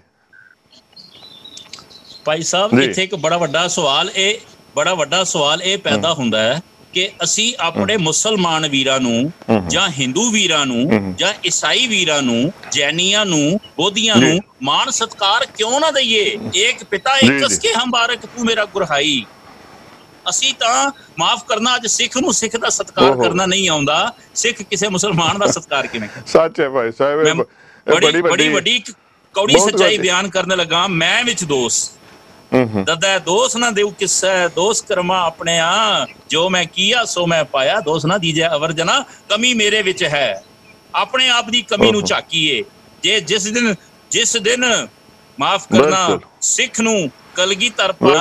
ਉਸ ਦਿਨ ਕਿਸੇ ਮੁਸ- ਮੁਸਲਮਾਨ ਦੇ ਵਿੱਚੋਂ ਸਿੱਖ ਨੂੰ ਖੁਦਾ ਵੀ ਨਜ਼ਰ ਆਉਣ ਲੱਗ ਪਿਆ ਆਹਾ ਜਿਮੀ ਜਮਾਨ ਕੇ ਵਿਖੇ ਸਮਸਤ। ਇੱਕ ਜੋਤ ਹੈ ਨਾ ਕਾਟ ਹੈ ਨਾ ਬਾੜ ਹੈ ਨਾ ਗੁਰੂ ਕਾਟ ਵਾੜ ਹੋਤਾ ਹੈ ਅਸੀਂ ਕਿਹੜੇ ਰੌਲੇ 'ਚ ਪੈ ਗਏ ਪਵਿੱਤਰ ਸ਼ਬਦ ਆਉਂਦਾ ਨਾ ਇਹੋ ਜੋ ਗੁਰ ਦੀਸੈ ਸਿੱਖੜਾ ਤਿਸ ਨਿਵ ਨਿਵ ਲਾਗਾਂ ਪਾਏ ਜੀਓ। ਹਾਂ? ਤੇ ਆਖਰੀ ਆਖਰੀ। ਪੰਕਤੀ ਦੇ। ਵਿੱਚ ਮਹਾਰਾਜ ਨੇ ਥੋੜਾ ਜਿਹਾ ਅੱਗਾ ਪਿੱਛਾ ਕਰ ਦਿੱਤਾ। ਆਹਾ ਕਹਿੰਦੇ ਨੇ ਜੋ ਗੁਰ ਦੀਸੈ ਸਿੱਖੜਾ ਜੋ ਗੁਰਦੀਸ ਤਿਸ ਨਿਵ ਨਿਵ ਲਾਗਾਂ ਪਾਏ ਜੀਓ ਸਿੱਖ ਦੇ ਵਿੱਚੋਂ ਗੁਰੂ ਦਿਸਦਾ ਹੈ ਗੁਰੂ ਕੀ ਬਾਣੀ ਕਹਿੰਦੀ ਜਦੋਂ ਹੈ ਦਸਮ ਪਾਤਸ਼ਾਹ ਨੇ ਨਿਰਣਾ ਹੀ ਕਰ ਦਿੱਤਾ ਖਾਲਸਾ ਮੇਰੋ ਰੂਪ ਹੈ ਖਾਸ। ਖਾਲਸੇ ਮੈਂ ਹੂੰ ਕਰੋ ਨਿਵਾਸ ਬਾਬਾ ਜੀ ਬਾਰ-ਬਾਰ ਕਹਿੰਦੇ ਨੇ ਹਉ ਖਾਲਸੇ ਦਾ ਖਾਲਸਾ ਮੇਰੋ ਓਤ ਪੋਤ ਸਾਗਰ ਬੁੰਦੇਰੋ ਜਿਵੇਂ। ਸਾਗਰ ਦੇ ਵਿੱਚੋਂ। ਇੱਕ ਬੂੰਦ ਜਲ ਦੀ ਕਤਰਾ ਜਲ ਦਾ ਉਹਨੂੰ ਫੇਰ ਜਲ ਦੇ ਵਿੱਚ ਜਦੋਂ ਸਮੋ ਜਾਵੇ ਫੇਰ ਸਾਗਰ ਦਾ ਰੂਪ ਹੋ ਜਾਂਦਾ ਹੈ। ਖਾਲਸਾ ਤੇ ਗੁਰੂ ਇੱਕੋ ਹੈ ਲੇਕਿਨ ਖਾਲਸਾ ਬਣਨਾ ਪਵੇਗਾ ਗੱਲੀ ਖਾਲਸਾ ਨਹੀਂ ਕੇਵਲ ਆਪਣੇ ਨਾਂ ਨਾਲ ਖਾਲਸਾ ਵਰਤਣ ਨਾਲ ਕੋਈ ਖਾਲਸਾ ਇਹ। ਕੋਈ ਐਵੇਂ ਢਹਾਲੋ ਅਸੀਂ ਕੇਵਲ ਖਾਲਸਾ ਸਦਵਾਣਾ ਚਾਹੁੰਦੇ ਆ ਪਰ ਖਾਲਸਾ ਬਣਨਾ ਬੜੀ ਵੱਡੀ ਖੇਦ ਹੈ। ਬਹੁਤ ਉੱਚੀ ਬਹੁਤ ਉੱਚੀ ਉਡਾਰੀ ਹੈ ਸੋ ਖਾਲਸਾ ਬਣਨ ਦਾ ਯਤਨ ਕਰੀ। ਉਹ ਕੀ ਘਟੀ? ਬੜੀ ਔਖੀ। ਬੜੀ ਔਖੀ ਔਖੀ ਘਾਟੀ ਹੈ ਜੀ। ਖਾਲਸਾ ਸੋਕ ਜੋ ਕਰੇ ਨੇ ਤੇ ਜੰਗ ਉਹਦੀ ਪੰਜਾਂ ਨਾਲ ਹਮੇਸ਼ਾ ਹਰ ਵਕਤ ਹੀ ਜੰਗ ਜਿਹੜੀ ਹੈ ਜਾਰੀ ਰਹਿਣੀ ਚਾਹੀਦੀ ਹੈ। ਅਸੀਂ ਜਿਹੜੇ ਆ ਰਾਜਾਦਿਆਂ ਨੂੰ ਘਸੁਣ ਮਾਰੀ ਜਾਈਏ ਤੇ ਕਹੀਏ ਜੀ ਬਾਬਾ ਜੀ ਨੇ ਕਿਹਾ ਵੀ ਕਰੇ ਨਿਤ ਜੰਗ ਅਸੀਂ ਤੇ ਰਾਜਾਦਿਆਂ ਨੂੰ ਘਸੁਣ ਪੇ ਮਾਰਦੇ ਆ ਬਿਲਕੁਲ ਇਹ ਸਾਨੂੰ ਸਾਰੀ ਖੇਡ ਜਿਹੜੀ ਹੈ ਸਮਝਣੀ ਬਣਦੀ ਹੈ ਇੱਕ ਮੈਂ ਸਮਝਦਾ ਕਿ ਭਾਈ ਸਾਹਿਬ ਸਾਡੇ ਅੰਦਰ ਨਾ ਇੱਕ ਥੋੜਾ ਜਿਹਾ ਇੱਕ ਫੋਬੀਆ ਜਿਹਾ ਬਣ ਗਿਆ ਮੈਨੂੰ ਯਾਦ ਆ ਕਿ ਕਰੀਬ 2-3 ਦਹਾਕੇ ਪਹਿਲਾਂ ਨਾ ਜਦੋਂ ਗੁਰਸਿੱਖ ਗੁਰਸਿੱਖ ਨੂੰ ਮਿਲਦਾ ਸੀ। ਬੜੇ। ਪਿਆਰ ਦੇ ਨਾਲ ਇੱਕ ਦੂਜੇ ਦੇ ਚਰਨੀ ਹੱਥ ਲਾਉਣ ਦੀ ਕੋਸ਼ਿਸ਼ ਕਰਨੀ ਗੋਡੀ ਹੱਥ ਲਾਉਣਾ ਗਲਵਕੜੀਆਂ ਪਾਉਣੀਆਂ।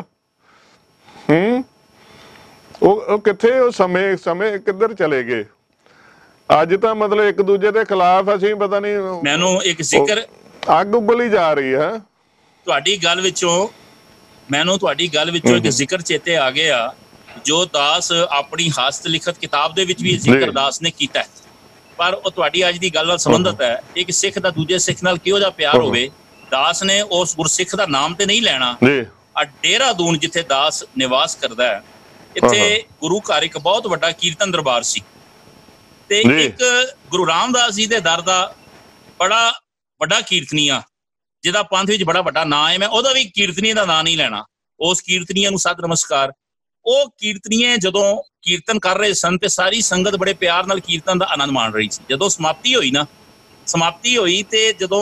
ਉਹ ਸਟੇਜ ਤੋਂ ਥੱਲੇ ਉਤਰੇ ਜਦੋਂ ਗੁਰੂ ਗੁਰਦੁਆਰਾ ਸਾਹਿਬ ਤੋਂ ਬਾਹਰ ਆਏ ਨਾ ਕਾਰ ਵਿੱਚ ਬਹਿਣ। ਲੱਗੇ ਤੇ ਇੱਕ ਗੁਰਸਿੱਖ ਮੈਂ ਉਹਦਾ ਵੀ ਨਾਂ ਨਹੀਂ ਲੈਣਾ। ਮੇਰਾ ਬੜਾ। ਪਿਆਰਾ ਨਿੱਜੀ ਮਿੱਤਰ ਹੈ। ਪੰਜ ਬਾਣੀਆਂ ਦਾ ਨਿਤਨੇਮੀ ਗੁਰੂ ਦੀ ਭੈ ਪਾਸੀ ਦੇ। ਦਰ ਦੇ ਕੀਰਤਨੀਏ ਤੇ ਉਹ ਗੁਰਸਿੱਖ ਮਿਲੇ ਤੇ ਪਿਆਰ ਬੜਾ ਸੀ ਆਪਸ ਵਿੱਚ। ਤੇ ਉਹਨਾਂ ਨੇ ਫਤਿਹ ਬੁਲਾ ਕੇ ਗਲਵਕੜੀ ਚ ਲਿਆ ਇੱਕ ਦੂਜੇ ਨੂੰ। ਤੇ ਜਿਹੜਾ ਗੁਰੂ ਰਾਮਦਾਸ ਜੀ ਦੇ ਦਰ ਦੇ ਕੀਰਤਨੀਏ ਸੰਨਾ ਉਹਨਾਂ ਨੇ ਬੜੇ ਪਿਆਰ ਨਾਲ ਪੁੱਛਿਆ ਭਾਈ ਸਾਹਿਬ ਕਿੱਥੇ ਰਹਿੰਦੇ ਹੋ? ਤੇ ਨਾਲ ਕੋਈ ਤੀਜਾ ਸਿੰਘ ਖਲੋਤਾ ਸੀ। ਉਹ ਅੰਦਰ ਦੀ ਕੁੰਡੀ ਨੂੰ ਸਮਝ ਨਾ ਸਕਿਆ। ਉਹ ਨਾਲ ਝੜ ਬੋਲ ਪਿਆ ਕਹਿੰਦਾ ਜੀ ਇਹ ਭਾਈ ਸਾਹਿਬ ਨਾਲ ਘਰ ਚਾਰ ਘਰ ਛੋੜ ਕੇ ਪੰਜਵਾਂ ਘਰ ਭਾਈ ਸਾਹਿਬ ਦਾ ਨਾਲ ਹੀ ਰਹਿੰਦੇ ਨੇ।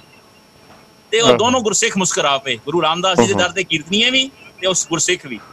ਤੇ ਉਹ ਗੁਰਸਿੱਖ ਨੇ ਇਸ਼ਾਰਾ। ਕੀਤਾ ਭਾਈ ਇਹ ਅੰਦਰ ਦੀਆਂ ਖੇਡਾਂ ਨੇ। ਉਹਨਾਂ ਨੇ ਇਹ ਨਹੀਂ। ਪੁੱਛਿਆ ਬਈ ਤੁਹਾਡਾ ਦੁਨਿਆਵੀ ਐਡਰੈਸ ਕੀ ਹੈ ਕਹਿਣ ਲੱਗੇ ਕਿੱਥੇ ਰਹਿੰਦੇ ਹੋ। ਤੇ ਗੁਰਸਿੱਖ ਨੇ ਜਵਾਬ ਬੜਾ ਕਮਾਲ ਦਿੱਤਾ। ਕਹਿਣ ਲੱਗਾ ਭਾਈ ਸਾਹਿਬ ਗੁਰੂ ਨਾਨਕ ਦੇ ਚਰਨਾਂ ਵਿੱਚ ਥਾਂ ਲੱਭ ਰਿਹਾ। ਤੇ ਅਗੋਂ ਫਿਰ ਗੁਰੂ। ਰਾਮਦਾਸ ਜੀ ਦੇ ਦਰ ਦੇ ਕੀਰਤਨੀਏ ਨੇ ਦੂਜਾ ਸਵਾਲ ਕੀਤਾ ਕਹਿਣ ਲੱਗੇ ਕਿਹੜੀ ਅਵਸਥਾ ਵਿੱਚੋਂ ਤੇ ਉਹ ਗੁਰਸਿੱਖ ਪਿਆਰਾ। ਕਹਿਣ ਲੱਗਾ ਕੋਸ਼ਿਸ਼ ਕਰ ਰਹੇ ਹਾਂ ਕਿ ਗੁਰੂ ਨਾਨਕ ਦਾ ਬੱਚਾ ਬਣ ਜਾ ਬਿਲਕੁਲ ਸੋ। ਇਹ ਜਦੋਂ ਗੁਰਸਿੱਖ ਇੱਕ ਦੂਜੇ ਨੂੰ ਮਿਲਦੇ ਨੇ ਨਾ ਅੱਜ ਵੀ ਜਿਹੜੇ ਅੰਦਰ ਦੀ ਭਾਵਨਾ ਨੂੰ ਇੱਕ ਦੂਜੇ ਨੂੰ। ਅੰਦਰੋਂ ਜਾਣਦੇ ਨੇ ਅਸੀਂ ਕੇਵਲ ਬਾਹਰਲਾ ਅਸੀਂ ਕੇਵਲ ਵਪਾਰ ਆ ਪਰ ਅੰਦਰ ਦੀ ਜਿਹੜੀ ਸਿੱਖੀ ਦੀ ਸਾਂਝ ਹੈ। ਬੜੀ ਬਾਕਮਾਲ ਹੈ ਉਹ ਜਿਹੜੀ ਗੱਲ ਤੁਸੀਂ ਕੀਤੀ ਵੀ ਪੁਰਾਤਨ ਸਮੇਂ ਵਿੱਚ ਸਿੰਘ ਇੱਕ। ਦੂਜੇ ਨੂੰ ਮਿਲਦੇ ਸਨ ਚਾਰ ਮਿਲੇ 64 ਖਿਲੇ 20 ਮਿਲੇ ਕਰ ਜੋੜ। ਗੁਰਸਿੱਖ ਸੇ ਗੁਰਸਿੱਖ ਮਿਲੇ ਖਿੜ ਗਏ ਸਾਥ ਕਰੋ ਆਹਾ ਕਿੱਥੇ ਰਹਿ ਗਈਆਂ ਗੱਲਾਂ ਆਹਾ ਉਹ ਬਿਲਕੁਲ ਰੋਮ ਰੋਮ ਰੋਮ ਦੇ ਵਿੱਚ ਗੁਰੂ ਦਾ ਪਿਆਰ ਜਿਹੜਾ ਸੀ ਉਹ ਆ ਜਾਂਦਾ ਸੋ ਆਪਾਂ ਇਹ ਅੱਜ ਬੜਾ ਹੀ ਪਵਿੱਤਰ ਦਿਹਾੜਾ ਗੁਰਪੁਰਬ ਦਾ ਦਿਹਾੜਾ ਮਨਾ ਰਹੇ ਹਾਂ ਸਤਿਗੁਰ ਸੱਚੇ ਪਾਤਸ਼ਾਹ ਜੀ ਨੇ ਬੜੀਆਂ ਵੱਡੀਆਂ ਸਾਡੇ ਵਾਸਤੇ ਬਖਸ਼ਿਸ਼ਾਂ ਕੀਤੀਆਂ ਸ੍ਰੀ ਨੇ ਗੁਰੂ ਅਰਜਨ ਦੇਵ ਜੀ ਦੇ ਪਿਆਰੇ ਸਿੱਖ ਪੰਥ ਦੇ। ਮਹਾਨ ਵਿਦਵਾਨ ਇੱਕ ਗੁਰਸਿੱਖ ਦਾ ਸਤਿਕਾਰ ਕਰਨ ਦੀ ਜਾਂਚ ਭਾਈ ਗੁਰਦਾਸ ਜੀ ਦਰਸਾਉਂਦੇ ਨੇ ਭਾਈ ਗੁਰਦਾਸ ਜੀ ਭਾਈ ਸਾਹਿਬ ਦੇ ਅੰਦਰ ਸਿੱਖ। ਦੇ ਪ੍ਰਤੀ ਕਿੰਨਾ ਪਿਆਰ ਹੋਏਗਾ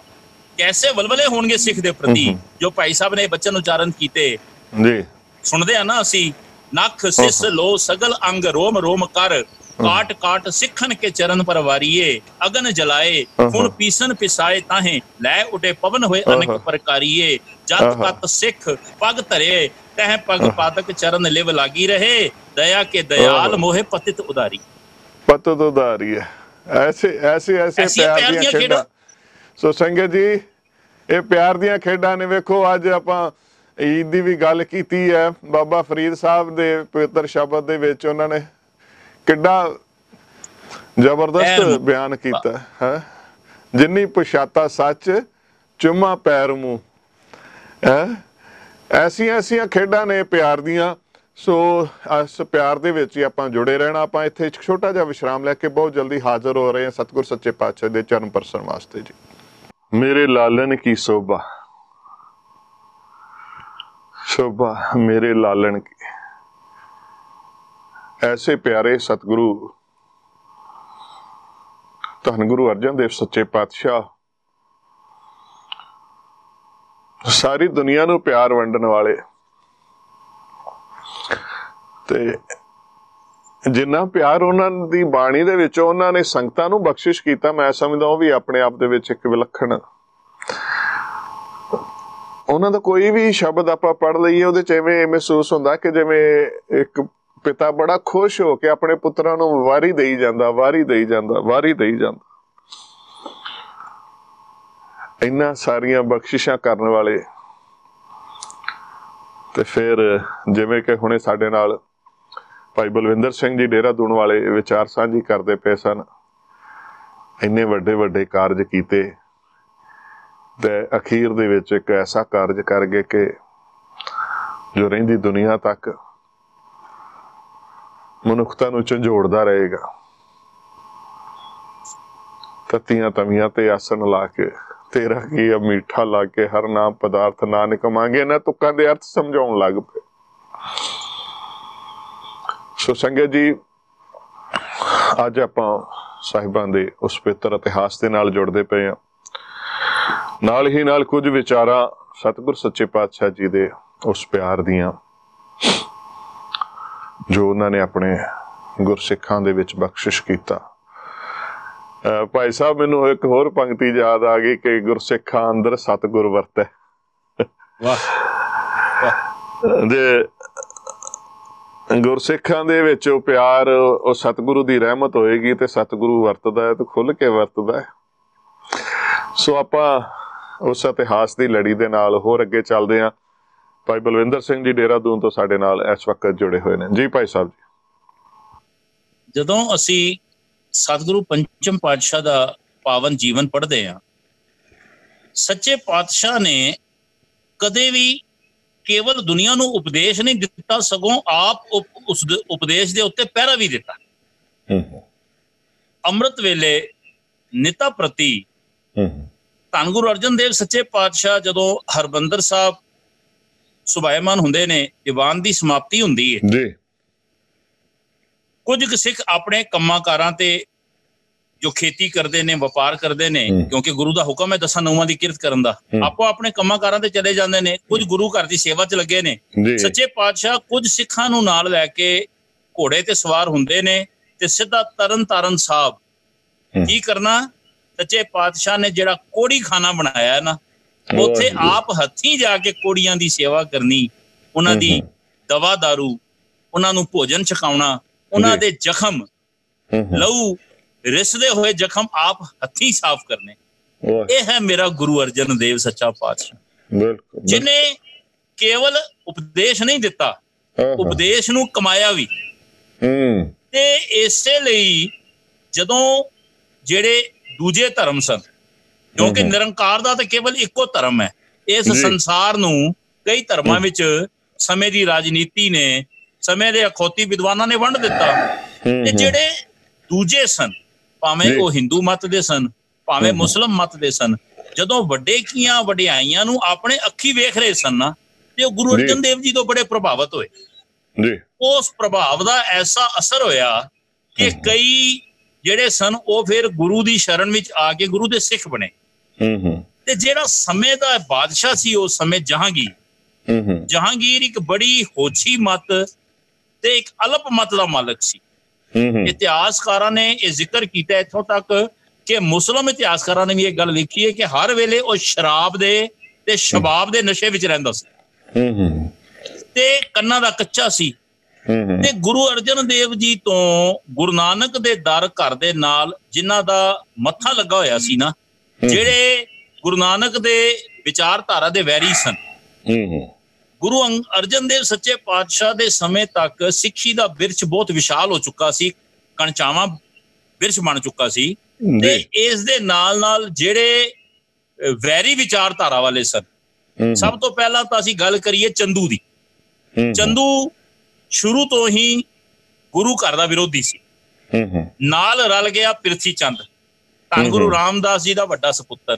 ਕਿਉਂਕਿ ਉਸ ਨੂੰ ਸ਼ੁਰੂ ਤੋਂ ਇਸ ਗੱਲ ਦਾ ਮਾਣ ਸੀ ਕਿ ਵੱਡਾ ਪੁੱਤਰ ਹੋਣ ਦੇ ਨਾਤੇ ਇਹ ਜੋ ਗੁਰਤਾ ਗੱਦੀ ਹੈ ਮੈਨੂੰ ਮਿਲਣੀ ਹੈ ਪਰ। ਇਹ ਕੋਈ ਕਿਸੇ ਦੁਨਿਆਵੀ ਰਾਜੇ ਦੀ ਗੱਦੀ ਨਹੀਂ ਜੋ ਪਿਤਾ। ਤੋਂ ਬਾਅਦ ਵੱਡੇ ਪੁੱਤਰ ਨੂੰ ਮਿਲਦੀ ਹੈ ਇਹ। ਤਾਂ ਨਿਰੰਕਾਰ ਦੇ ਦਰ ਘਰ ਦਾ ਤਖਤ ਹੈ ਤੇ ਬਾਬਾ ਜੀ ਦੀ। ਬਾਣੀ ਫਰਮਾਉਂਦੀ ਤਖਤ ਬਹਿ ਤਖਤੇ ਕੇ ਲਾਇਕ ਧੰਨ ਗੁਰੂ ਰਾਮਦਾਸ ਜੀ ਨੇ ਜਦੋਂ ਪੰਚਮ ਪਾਤਸ਼ਾਹ ਨੂੰ ਗੁਰਤਾ ਗੱਦੀ ਤੇ ਬਿਰਾਜਮਾਨ ਕੀਤਾ ਤੇ ਪਿਰਥੀਆ ਸੜ ਬਲ ਗਿਆ ਤੇ ਉਹ ਵੀ ਗੁਰੂ ਘਰ ਦਾ ਵਿਰੋਧੀ ਹੋ ਗਿਆ ਤੇ ਕਈ ਪ੍ਰਕਾਰ ਨਾਲ ਉਸ ਨੇ ਸੰਗਤਾਂ ਵਿੱਚ ਵੀ ਜਿਹੜਾ ਹੈ ਉਹ ਵਿਤਕਰਾ ਪਾਉਣ ਦੀ ਕੋਸ਼ਿਸ਼ ਕੀਤੀ ਪਰ ਇਸ ਸਮੇਂ ਜੀ। ਭਾਈ ਗੁਰਦਾਸ ਜੀ ਤੇ ਬਾਬਾ ਬੁੱਢਾ ਜੀ ਦਾ ਖਾਸ ਤੌਰ ਤੇ ਜ਼ਿਕਰ ਆਉਂਦਾ ਹੈ ਜਿਨ੍ਹਾਂ ਨੇ ਸੰਗਤਾਂ ਨੂੰ ਸਹੀ ਮਾਰਗ ਵੱਲ ਪ੍ਰੇਰਿਆ ਤੇ ਜਿਹੜਾ। ਪਿਰਥੀਆ ਸੀ ਉਹ ਚੰਦੂ ਦੇ ਨਾਲ ਰਲ ਕੇ ਜਹਾਂਗੀਰ ਦਾ ਏਜੰਟ ਬਣ ਗਿਆ।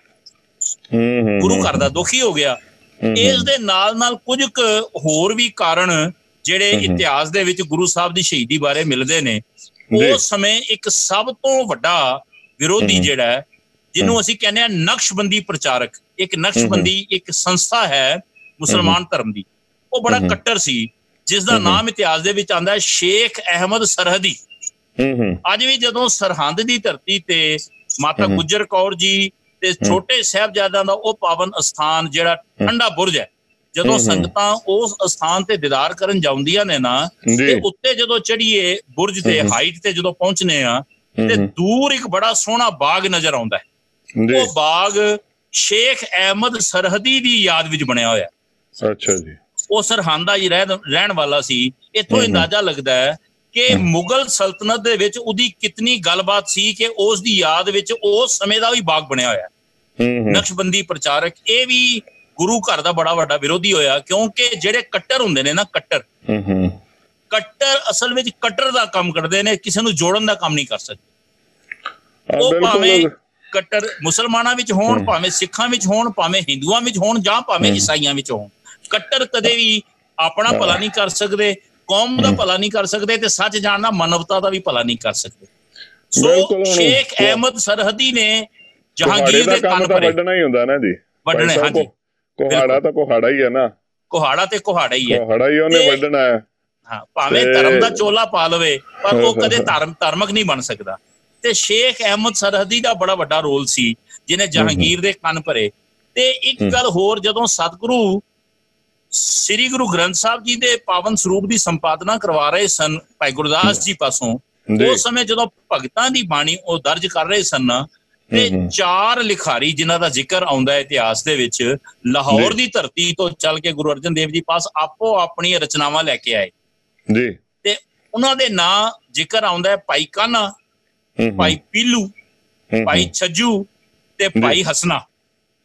ਇਹ ਚਾਰੇ ਜਦੋਂ ਗੁਰੂ ਸਾਹਿਬ ਕੋਲ ਆਪਣੀ ਆਪਣੀ ਰਚਨਾ ਲੈ ਕੇ ਆਏ ਸਤਿਗੁਰਾਂ ਨੇ ਬੜਾ ਸਤਿਕਾਰ ਕੀਤਾ ਉਹਨਾਂ ਦੀ ਰਚਨਾ ਪੜ੍ਹੀ ਪਰ ਉਹਨਾਂ ਨੂੰ ਇੱਕ। ਬੇਨਤੀ ਕੀਤੀ ਵੀ ਤੁਹਾਡੀ ਰਚਨਾ ਇਹ ਗੁਰਮਤ ਦੇ ਆਸ਼ੇ ਅਨੁਸਾਰ ਠੀਕ ਨਹੀਂ। ਸੋ ਉਹਨਾਂ ਦੀ ਰਚਨਾ ਨੂੰ ਗੁਰੂ ਗ੍ਰੰਥ ਸਾਹਿਬ ਦੇ ਵਿੱਚ ਥਾਂ ਨਹੀਂ ਦਿੱਤੀ ਤੇ ਉਹ। ਵੀ ਗੁਰੂ ਘਰ ਦੇ ਵਿਰੋਧੀ ਹੋ ਗਏ।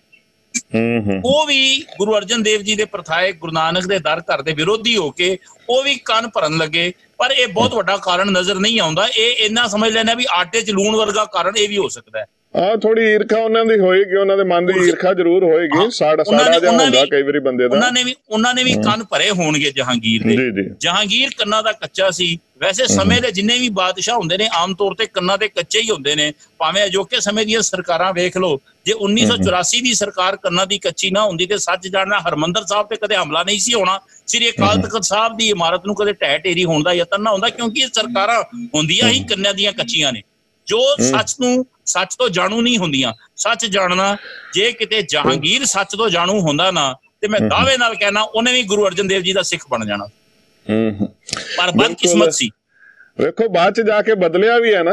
ਜਹਾਂਗੀਰ ਨੂੰ। ਥੋੜਾ ਜਿਹਾ ਜਦੋਂ ਉਹਨੂੰ ਗਿਆਨ ਮਿਲਿਆ ਵਾ ਤੇ ਫਿਰ ਆਪਾਂ ਦੇਖਦੇ ਹਾਂ ਗੁਰੂ ਹਰਗੋਬਿੰਦ ਸਾਹਿਬ ਜੀ ਦੇ ਨਾਲ ਉਹਦੀ ਨੇੜਤਾ ਬਣੀ ਆ ਕੁਝ ਅੱਗੇ ਜਾ ਕੇ। ਮਿੱਤਰਤਾ ਹੋਈ ਪਰ ਬਿਲਕੁਲ ਇੱਕ ਗੱਲ ਜਿਹੜੀ ਹੈ ਨਾ ਮੈਂ ਦੇਖਦਾ ਜਿਹੜੀ ਤੁਸੀਂ ਵੀ ਹੁਣੇ ਗੱਲ ਕਰਦੇ ਪਏ ਸੀ ਅਕਸਰ ਕਿਉਂਕਿ ਜਿਹੜੇ ਰਾਜਨੀਤਿਕ ਲੋਕ ਹੁੰਦੇ ਨਾ ਤਖਤਾਂ ਤੇ ਬਹਿਣਾ ਜਿਨ੍ਹਾਂ ਦਾ ਇੱਕੋ ਹੀ ਇੱਕ ਮਨਸ਼ਾ ਹੁੰਦਾ ਉਹ ਲੋਕਾਂ ਦੇ ਜਜ਼ਬਾਤਾਂ ਨਾਲ ਖੇਡਣਾ ਉਹਨਾਂ ਦੀ ਇੱਕ ਫਿਤਰਤ ਬਣ ਜਾਂਦੀ ਹੈ।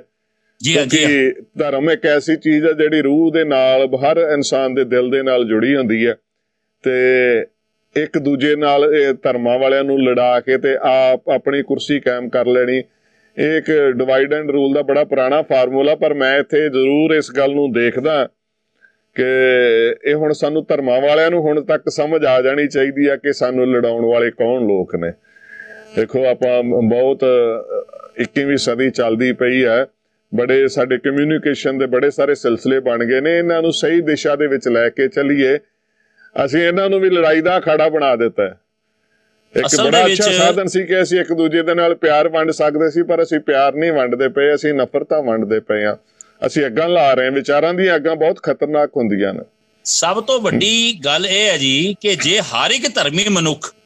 ਆਪਣੇ ਆਪਣੇ ਧਰਮ ਨੂੰ ਇਮਾਨਦਾਰੀ ਨਾਲ ਆਨਰ ਕਰਨ ਲੱਗੇ ਨਾ ਆਪਣੇ ਆਪਣੇ ਧਰਮ ਨੂੰ ਪਛਾਣ ਲਵੇ ਤੇ ਧਰਮ। ਦੇ ਨਾਂ ਤੇ ਹੋ ਰਹੀ ਜੰਗ ਜਿਹੜੀ ਏ ਇਹ। ਸਦਾ ਲਈ ਮੁੱਕ ਸਕਦੀ। ਅੱਜ ਹਾਲਾਤ ਕੀ ਨੇ?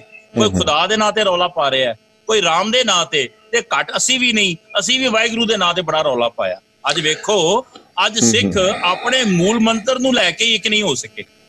ਤੇ ਸੱਚ ਇਹ ਹੈ ਕਿ ਜਿਸ ਦਿਨ ਗੁਰੂ ਗ੍ਰੰਥ ਸਾਹਿਬ ਨੂੰ ਪਛਾਣ ਲਏਗਾ ਨਾ ਇਹ ਜਗਤ। ਜਿਵੇਂ ਕਈ ਵਾਰ ਇੱਕ ਦਾਸ ਪਹਿਲਾਂ ਵੀ ਬੇਨਤੀ ਕਰਦਾ ਹੁੰਦਾ ਹੈ ਅੱਲਾ ਕੀ ਰਾਮ ਕੀ ਤੇ ਮੌਲਾ ਕੀ ਜੇ ਸਮਝ ਗਏ ਫਿਰ ਰੌਲਾ ਕੀ। ਬਿਲਕੁਲ। ਗੱਲ ਤਾਂ ਸਮਝਣ ਰੌਲਾ ਤਾਂ ਬੇਸਮਝੀ ਦਾ ਹੀ ਆ ਨਾ ਜੀ। ਬੇਸਮਝੀ ਦੇ ਜਿੰਨੀ ਪਛਾਤਾ ਸੱਚ ਚੁੰਮਾ ਪੈਰ ਮੂੰਹ ਉੱਥੇ ਤੱਕ ਮਨ ਜਾਂਦਾ ਹੀ ਨਹੀਂ ਨਾ। ਉੱਥੇ ਤੱਕ ਪਹੁੰਚੇ ਨਹੀਂ। ਉੱਥੇ ਤੱਕ ਮਨ ਨਹੀਂ ਜਾਂਦਾ। ਸੀ ਸਾਰੇ ਨਾ ਉਹ ਜਿਵੇਂ ਸ਼ੈਲੋ ਵਾਟਰ ਸਵਿਮਿੰਗ ਪੂਲ ਹੁੰਦਾ ਤੇ ਉਹਦੇ ਵਿੱਚ ਥੋੜਾ ਜਿਹਾ ਏਰੀਆ ਹੁੰਦਾ ਸ਼ੈਲੋ ਵਾਲਾ। ਵੀ। ਜਿੱਥੇ ਜਾ ਕੇ ਬੱਚਾ ਵੀ ਖਲੋ ਕੇ ਤੇ ਚਲੋ ਨਹਾ ਨੂੰ ਕੇ ਬਾਹਰ ਨਿਕਲ ਆਊਗਾ। ਪਰ ਅਸੀਂ ਉਸੇ ਨੂੰ ਸਮੁੰਦਰ ਸਮਝ ਲਿਆ। ਕਰਦੇ ਆ ਉਹਨੇ ਇੱਕ ਥਾਂ ਜੀ ਘੁੰਮ ਘੰਮ ਕੇ ਤੇ ਆਪਣੇ ਆਪ ਨੂੰ ਸਮਝਦੇ ਅਸੀਂ ਤਾਰੂ ਬਣ ਗਏ ਆ ਪਰ ਤਾਰੂ ਉਹ। ਨਹੀਂ ਹੁੰਦਾ। ਤਾਰੂ ਤਾਂ ਉਹ ਹੁੰਦੇ ਨੇ ਜਿਹੜੇ ਚੁੱਬੀਆਂ ਵੀ ਮਾਰਦੇ ਨੇ ਰਤਨ ਅਮੋਲਕ ਵੀ ਚੁਣਦੇ ਨੇ। ਤੇ ਬਿਲਕੁਲ। ਉਹ ਧਰਮ ਦੀ ਗਹਿਰਾਈ ਦੇ ਵਿੱਚ ਜਾਣ ਵਾਸਤੇ ਅਸੀਂ ਤਿਆਰ ਨਹੀਂ ਅਸੀਂ ਮੈਂ ਇਹ ਦੇਖ ਰਿਹਾ ਜੀ ਕਿ ਅੱਜ ਦੇ ਯੁੱਗ ਦੇ ਵਿੱਚ ਦੂਸਰੇ ਦੇ ਧਰਮ ਨੂੰ ਨੀਵਾਂ ਦਿਖਾ ਕੇ ਦੂਸਰੇ ਦੇ ਧਰਮ ਦੀ ਗਲਤੀ ਕੱਢ ਕੇ ਅਸੀਂ ਬੜੇ ਖੁਸ਼ ਹੁੰਨੇ ਆ ਤੇ ਮੈਨੂੰ ਫਿਰ ਉਹ ਪੰਕਤੀ ਭਾਈ ਸਾਹਿਬ ਯਾਦ ਆ ਜਾਂਦੀ ਹੈ ਕਿ ਬਿਸਰ ਗਈ ਸਭ ਧਾਤ ਪਰਾਈ ਸਭ ਜਬ ਤੇ ਸਾਧ ਸੰਗਤ ਮੋਹੇ ਪਾਈ। ਤੇ ਮੈਨੂੰ ਕੋ ਮਹਿਸੂਸ ਹੁੰਦਾ ਕਿ ਮੈਂ ਅਜੇ ਤੱਕ ਸੰਗਤ ਕੀਤੀ ਹੀ ਨਹੀਂ। ਕੀਤੀ ਨਹੀਂ। ਜੇ ਮੈਂ ਵਾਕਈ। ਸੰਗਤ ਕੀਤੀ ਹੁੰਦੀ ਨਾ ਮੈਂ ਗੁਰੂ ਗ੍ਰੰਥ ਸਾਹਿਬ ਦੀ ਸੱਚੀ ਮੁੱਚੀ ਸੰਗਤ ਕੀਤੀ ਹੁੰਦੀ ਤੇ ਪਰਾਈ ਤਾਤ ਨਹੀਂ ਸੀ ਮੇਰੇ ਚ ਹੋਣੀ। ਮੇਰੇ ਅੰਦਰ. ਗਲਾਨੀ ਮੁੱਕ ਚੁੱਕੀ ਹੋਣੀ ਸੀ ਨਫ਼ਰਤਾਂ ਮੁੱਕ ਗਈਆਂ ਹੋਣੀਆਂ ਸੀ। ਕੋਈ ਸ਼ੱਕ ਨਹੀਂ। ਨਫ਼ਰਤਾਂ ਅਜੇ ਸਾਡੇ ਅੰਦਰ ਹੈ ਨੇ ਇਹਦਾ ਮਤਲਬ ਕਿ ਅਸੀਂ ਅਜੇ ਉਸ ਰਾਹ ਦੇ ਉਸ ਮੰਜ਼ਲ ਵੱਲ ਨਹੀਂ ਵੱਧ ਰਹੇ ਜਿਹੜੇ ਮੰਜ਼ਲ ਵੱਲ ਧਰਮ ਸਾਨੂੰ ਵਧਾਉਣਾ ਚਾਹੁੰਦਾ ਹੈ ਜਾਂ ਜਿਹੜਾ ਸਾਡਾ ਟੀਚਾ ਹੋਣਾ ਚਾਹੀਦਾ ਜੋ ਗੁਰੂ ਅਰਜਨ ਸਾਹਿਬ ਜੀ ਨੇ ਜਿਹਦੇ ਵਾਸਤੇ ਸ਼ਹਾਦਤ ਦਿੱਤੀ ਹੈ। ਜੇ ਅੱਜ ਵੀ ਅਸੀਂ ਉਸ ਨਫ਼ਰਤ ਨੂੰ ਖਤਮ ਨਹੀਂ ਕਰ ਪਾਏ ਤੇ ਮੈਨੂੰ ਲੱਗਦਾ ਕਿ ਅਸੀਂ ਹਰ ਸਾਲ ਇਹ ਜਿਹੜਾ ਦਿਨ ਮਨਾਉਂਦੇ ਆ ਇਹਦੇ ਵਿੱਚ ਅਸੀਂ ਉਹ ਚੀਜ਼ ਅਚੀਵ ਨਹੀਂ ਕਰ ਪਾ ਰਹੇ ਜਿਹੜੀ ਸਾਨੂੰ ਅਚੀਵ ਕਰਨੀ ਬਣਦੀ ਹੈ। ਜਿਹੜੀ ਨਫ਼ਰਤ ਅਸੀਂ ਮਨੁੱਖਤਾ ਦੇ ਵਿੱਚੋਂ ਖਤਮ ਕਰਨ ਲਈ ਤੁਰੇ ਸਾਂ ਸੱਚ ਤਾਂ ਇਹ ਹੈ ਬਈ ਉਹ ਨਫ਼ਰਤ ਤੇ ਹੁਣ ਸਾਡੇ ਘਰਾਂ ਦੇ ਵਿੱਚ ਆ ਗਈ। ਅੱਜ ਸਿੱਖ ਸਿੱਖ ਦਾ ਵੈਰੀ ਹੋਇਆ। ਕਾਲੀ। ਪੱਗ ਵਾਲਾ ਨੀਲੀ ਪੱਗ ਵਾਲੇ ਨੂੰ ਫਤਿਹ ਨਹੀਂ ਬੁਲਾਉਂਦਾ ਕੇਸਰੀ ਪੱਗ ਵਾਲਾ ਚਿੱਟੀ ਪੱਗ ਵਾਲੇ ਨੂੰ ਫਤਿਹ ਨਹੀਂ ਬੁਲਾਉਂਦਾ। ਅਸੀਂ ਆਪੋ। ਆਪਣੀਆਂ ਟਕਸਾਲਾਂ ਵਿੱਚ ਆਪੋ ਆਪਣੀਆਂ ਸੁਸਾਇਟੀਆਂ ਵਿੱਚ ਆਪੋ ਆਪਣੀਆਂ ਸੰਪਰਦਾਵਾਂ ਵਿੱਚ ਵੰਡੇ ਗਏ। ਗੁਰੂ ਦੀ ਗੱਲ ਕਿੱਥੇ ਰਹਿ ਗਈ? ਬਿਲਕੁਲ। ਗੁਰੂ ਨੇ ਸਾਰੇ ਜਗਤ ਨੂੰ ਆਪਣੀ ਗਲਵਕੜੀ 'ਚ ਲਿਆ ਸੀ। ਜੇ ਕਿਤੇ। ਇਹ ਗੱਲ ਜੇ ਕਿਤੇ ਜਹਾਂਗੀਰ ਨੂੰ ਸਮਝ ਆ ਜਾਂਦੀ ਆਹਾ ਤੇ ਉਹਦੇ ਕੋਲੋਂ ਇੰਨਾ ਵੱਡਾ ਪਾਪ ਨਹੀਂ ਸੀ ਹੋਣਾ। ਜੀ। ਤਖ ਤੁਝਕੇ ਜਹਾਂਗੀਰੀ ਹੂੰ, ਜੋ ਕਿ ਸਮੇਂ ਦੇ ਬਾਦਸ਼ਾਹ ਦੀ ਆਪਣੀ ਹਸਤ ਲਿਖਤ ਕਿਤਾਬ ਹੈ। ਜੋ ਉਹਨੇ। ਆਪਣੀ ਹੱਥੀਂ ਲਿਖੀ ਆਪਣੀ ਕਲਮ ਦੇ ਨਾਲ ਉਸ ਨੇ ਗੁਰੂ ਘਰ ਦੇ ਪ੍ਰਥਾਏ ਜੋ ਜ਼ਹਿਰ ਭਰੇ ਲਫ਼ਜ਼ ਵਰਤੇ ਨਾ ਇੱਥੋਂ ਪਤਾ ਲੱਗਦਾ ਵੀ ਉਹ ਗੁਰੂ ਘਰ ਦਾ ਕਿੰਨਾ ਵੱਡਾ ਵਿਰੋਧੀ ਸੀ। ਹੂੰ ਤੁਝਕੇ ਜਹਾਂਗੀਰੀ ਦੇ ਵਿੱਚ ਉਹਨੇ ਜ਼ਿਕਰ ਕੀਤਾ ਕਿ ਦਰਿਆ ਬਿਆਸ ਦੇ ਕੰਢੇ ਹੂੰ, ਇੱਕ ਹਿੰਦੂ ਫਕੀਰ। ਹੁਣ। ਇੱਥੇ ਗੱਲ ਨੂੰ ਸਮਝਣਾ ਕਿ। ਇਹਦਾ ਮਤਲਬ ਉਸ ਬੰਦੇ ਨੂੰ ਸਿੱਖੀ ਦੇ ਮੂਲ ਬਾਰੇ ਹੀ ਕੋਈ ਜਾਣਕਾਰੀ ਨਹੀਂ ਸੀ ਅਜੇ ਵੀ ਉਹ ਗੁਰੂ ਨਾਨਕ ਦੇ ਘਰ ਨੂੰ ਜਿਹੜਾ ਉਹ ਹਿੰਦੂ ਫਕੀਰ ਕਹਿ ਰਿਹਾ। ਇਹਦਾ ਮਤਲਬ ਉਹ ਧਰਮ ਤੋਂ ਕਿੰਨਾ ਹੀਣਾ ਹੋਏਗਾ ਮੈਂ ਤਾਂ। ਕਹਿੰਦਾ ਸੰਸਾਰਿਕ ਤੌਰ ਤੇ ਵੀ ਅਕਬਰ ਆ ਚੁੱਕਾ ਸੀ ਮੈਂ। ਮਾਫ ਕਰਨਾ ਤੁਹਾਡੀ ਗੱਲ ਦੇ ਵਿੱਚ ਗੱਲ ਜੋੜਾਂ ਕਿ ਅਜੇ ਤੱਕ ਅਕਬਰ ਗੋਇੰਦਵਾਲ ਸਾਹਿਬ ਆ ਕੇ ਲੰਗਰ 'ਚ ਬੈਠ ਕੇ ਪ੍ਰਸ਼ਾਦਾ ਛਕ ਕੇ ਜਾ ਚੁੱਕਾ ਹੈ ਅਕਬਰ ਆ ਚੁੱਕਾ ਸੀ ਬਾਬਰ ਗੁਰੂ ਨਾਨਕ ਸਾਹਿਬ ਦੇ ਚਰਨਾਂ ਤੇ ਨਤਮਸਤਕ ਹੋ ਚੁੱਕਾ ਸੀ ਹਮਾਯੂ ਗੁਰੂ ਅੰਗਦ ਦੇਵ ਜੀ ਨੂੰ ਪਛਾਣ ਚੁੱਕਾ ਸੀ ਜੀ ਇਹ ਤਾਂ ਸਾਰੀ ਖੇਡ ਜਿਹੜੀ ਹੈ ਇਹਦਾ ਇਹ- ਮਤਲਬ ਉਹ ਗੱਲ ਉਹੀ ਜਿਹੜੀ ਆਪ ਜੀ ਨੇ ਥੋੜੀ ਦੇਰ ਪਹਿਲਾਂ ਕੀਤੀ ਸੀ ਕਿ ਉਹ ਪਿਆਲਿਆਂ ਦੇ ਵਿੱਚ ਤੇ ਸ਼ਬਾਬ ਦੇ ਵਿੱਚ ਹੀ ਸਾਰਾ ਸਮਾਂ ਉਹਨੇ ਗੁਜ਼ਾਰਿਆ ਹੋਇਆ ਸੀ ਉਹਨੂੰ। ਪਤਾ ਹੀ ਨਹੀਂ ਸੀ ਆਲੇ ਦੁਆਲੇ ਹੈ ਕੀ ਮੇਰੇ ਉਹਨੂੰ ਪਤਾ ਹੀ ਨਹੀਂ ਸੀ ਜੋ ਉਹਨੇ। ਲਫ਼ਜ਼ ਵਰਤੇ ਹੈ ਕਿ। ਦਰਿਆ ਬਿਆਸ ਦੇ ਕੰਢੇ। ਇੱਕ ਹਿੰਦੂ ਫਕੀਰ ਜੋ ਝੂਠ ਦੀ ਹੱਟੀ ਖੋਲ ਕੇ ਬੈਠਾ ਵੇਖੋ। ਸਤਨਾਮ ਕਰਤਾ ਪੁਰਖ ਨਿਰਭਉ ਨਿਰਵੈਰ ਦੇ ਘਰ ਨੂੰ ਝੂਠ ਦੀ ਹੱਟੀ ਕਿਹਾ ਗਿਆ ਤੇ ਉਹਨੇ ਵੀ ਕਿਹਾ ਵੀ ਕਈ ਅਣਧਰਮੀ ਜਿਹੜੇ ਨੇ ਉਹ ਉਸ ਦੇ ਸ਼ਿਕਾਰ ਹੋਏ ਨੇ ਤੇ ਕੁਝ ਮੂਰਖ ਮੁਸਲਮਾਨ ਵੀ ਜੋ ਹੂੰ। ਅਣਭੋਲੇ ਨੇ, ਜੋ ਆਪਣੇ ਧਰਮ ਵਿੱਚ ਪੱਕੇ ਨਹੀਂ, ਉਹ ਵੀ ਉਹਦੇ ਛੱਗੇ ਤੋਂ ਬਣ ਰਹੇ ਨੇ ਤੇ। ਇਉਂ ਜਾਪਦਾ ਹੈ ਕਿ ਇਸ ਹੱਟੀ ਨੂੰ ਹੁਣ ਬੰਦ ਕਰਨ ਦਾ ਸਮਾਂ ਆ ਗਿਆ ਹੁਣ। ਇੱਥੋਂ ਪਤਾ ਲੱਗਦਾ ਹੈ ਕਿ ਉਹ। ਕਿਤਨਾ ਗੁਰੂ ਘਰ ਦਾ ਵਿਰੋਧੀ ਹੋਵੇਗਾ ਸਮੇਂ ਦਾ। ਬਾਦਸ਼ਾਹ ਮਾਫ। ਕਰਨਾ ਜੇ ਬਾਦਸ਼ਾਹ ਜ਼ਾਲਮ ਹੋਵੇ ਨਾ। ਤੇ ਫਿਰ ਪੀਰਾਂ ਪੈਗੰਬਰਾਂ ਨੂੰ ਗੁਰੂ ਪੀਰਾਂ ਨੂੰ ਫਿਰ ਸ਼ਹਾਦਤ ਦੇ ਕੇ। ਦੁਨੀਆ ਦੀ ਅੱਖ ਖੋਲਣੀ ਪੈਂਦੀ ਏ ਤੋ ਸੱਚੇ। ਪਾਤਸ਼ਾਹ ਨੇ ਇੱਕ ਬੜਾ ਵੱਡਾ ਉਹ ਕਾਰਨਾਮਾ ਕਰ ਵਿਖਾਇਆ ਇੱਥੇ ਇੱਕ ਬੇਨਤੀ ਕਰਾਂ ਗੁਰੂ ਸਾਹਿਬ ਆਪ ਪ੍ਰਤਾਖਾਰ ਨੇ ਗੁਰੂ ਅਰਜਨ ਜੀ, ਜੀ।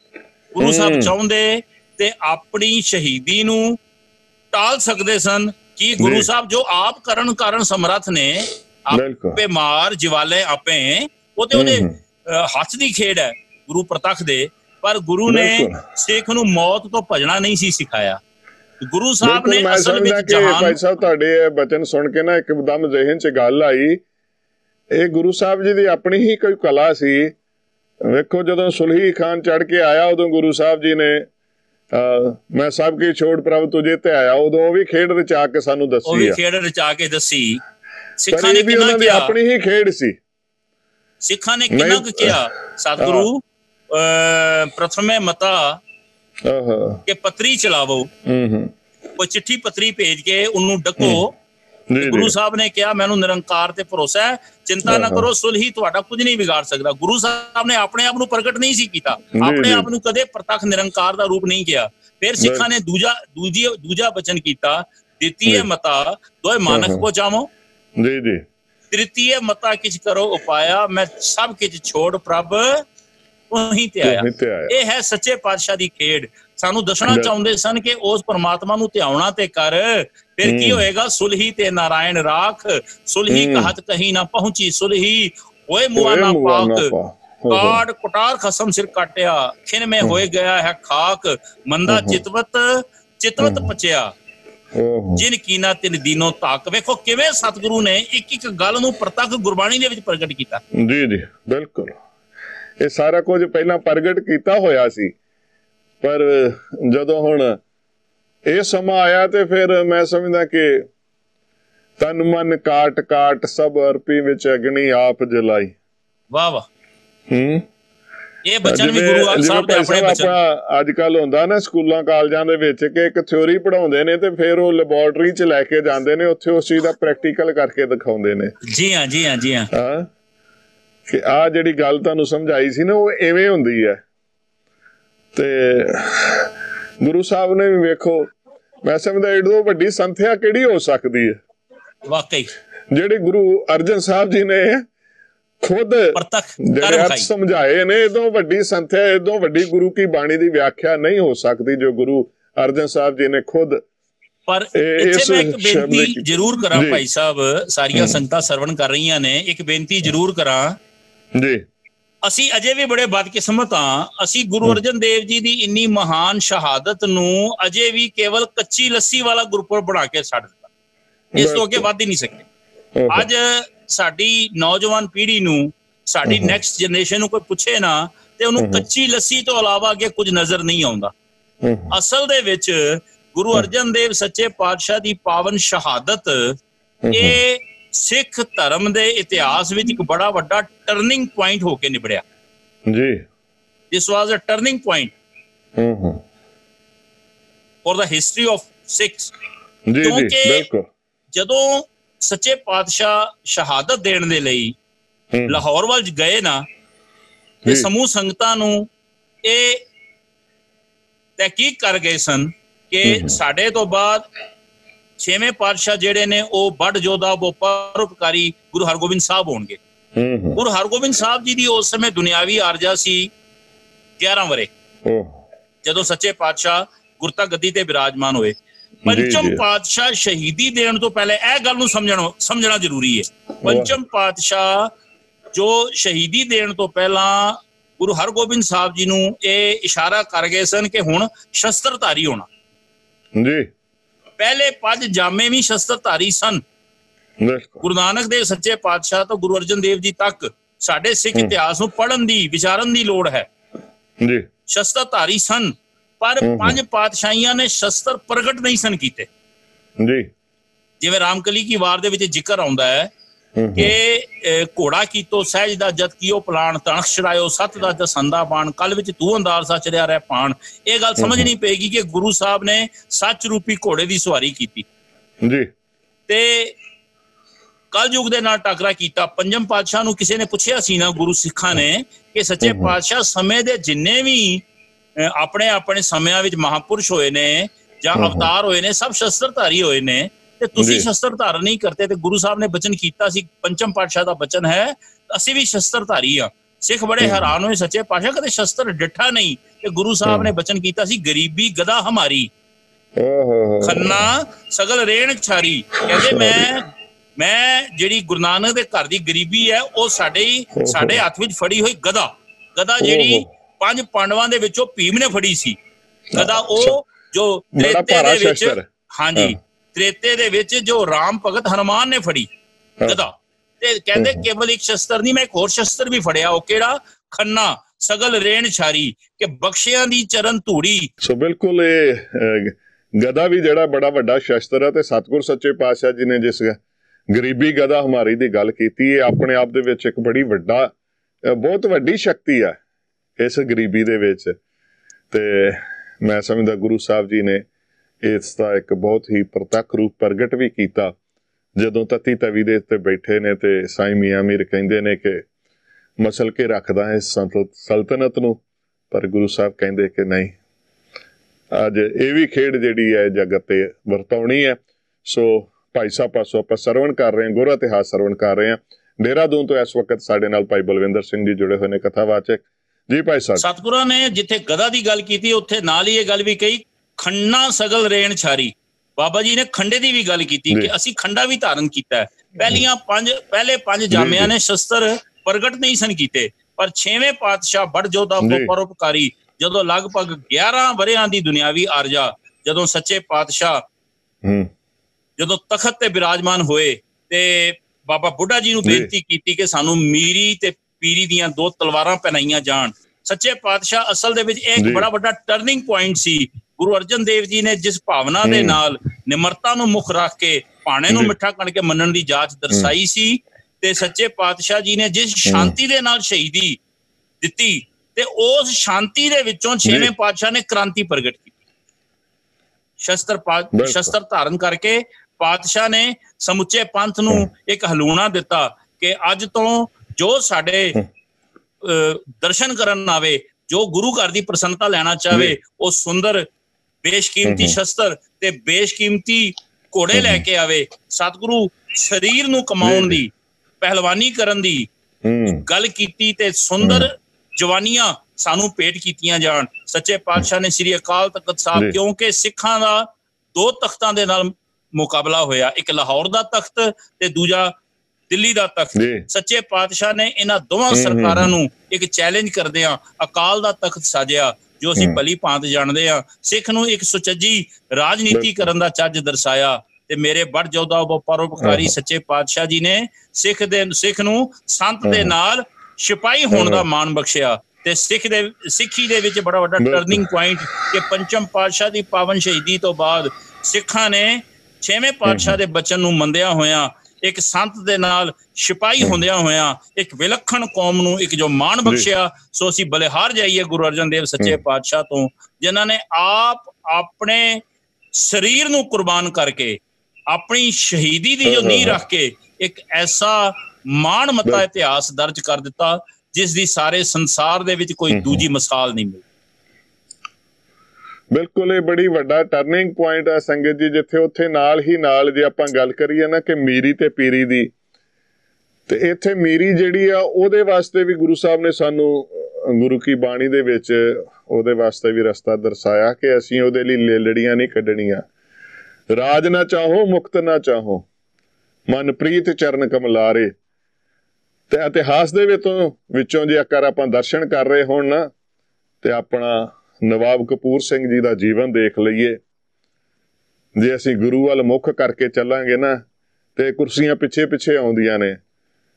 ਜੇ ਤੂੰ ਮੇਰਾ ਹੋਏ ਰਹੇ ਸਭ ਜਗ ਤੇਰਾ ਹੋਏ। ਜੋ ਅੱਜ ਹੋ ਰਿਹਾ ਹਾਂ ਜੇ ਤੂੰ ਮੇਰਾ ਹੋਏ ਰਹੇ ਸਭ ਜਗ ਤੇਰਾ ਹੋਏ ਪਰ ਜੇ ਆਪਾਂ ਦੂਜੇ ਪਾਸੇ ਨੂੰ ਹੋ ਜਾਈਏ ਨਾ ਤੇ ਫਿਰ ਉਹਦੇ 'ਚ ਖੁਸ਼ੀ ਨਹੀਂ ਉਹਦੇ 'ਚ ਤਾਂ ਉਹ ਗੱਲ ਹੋ ਜਾਂਦੀ ਹੈ ਨਾ ਤਖਤੋਂ ਰਾਜ ਤੇ ਰਾਜੋਂ ਨਰਕ।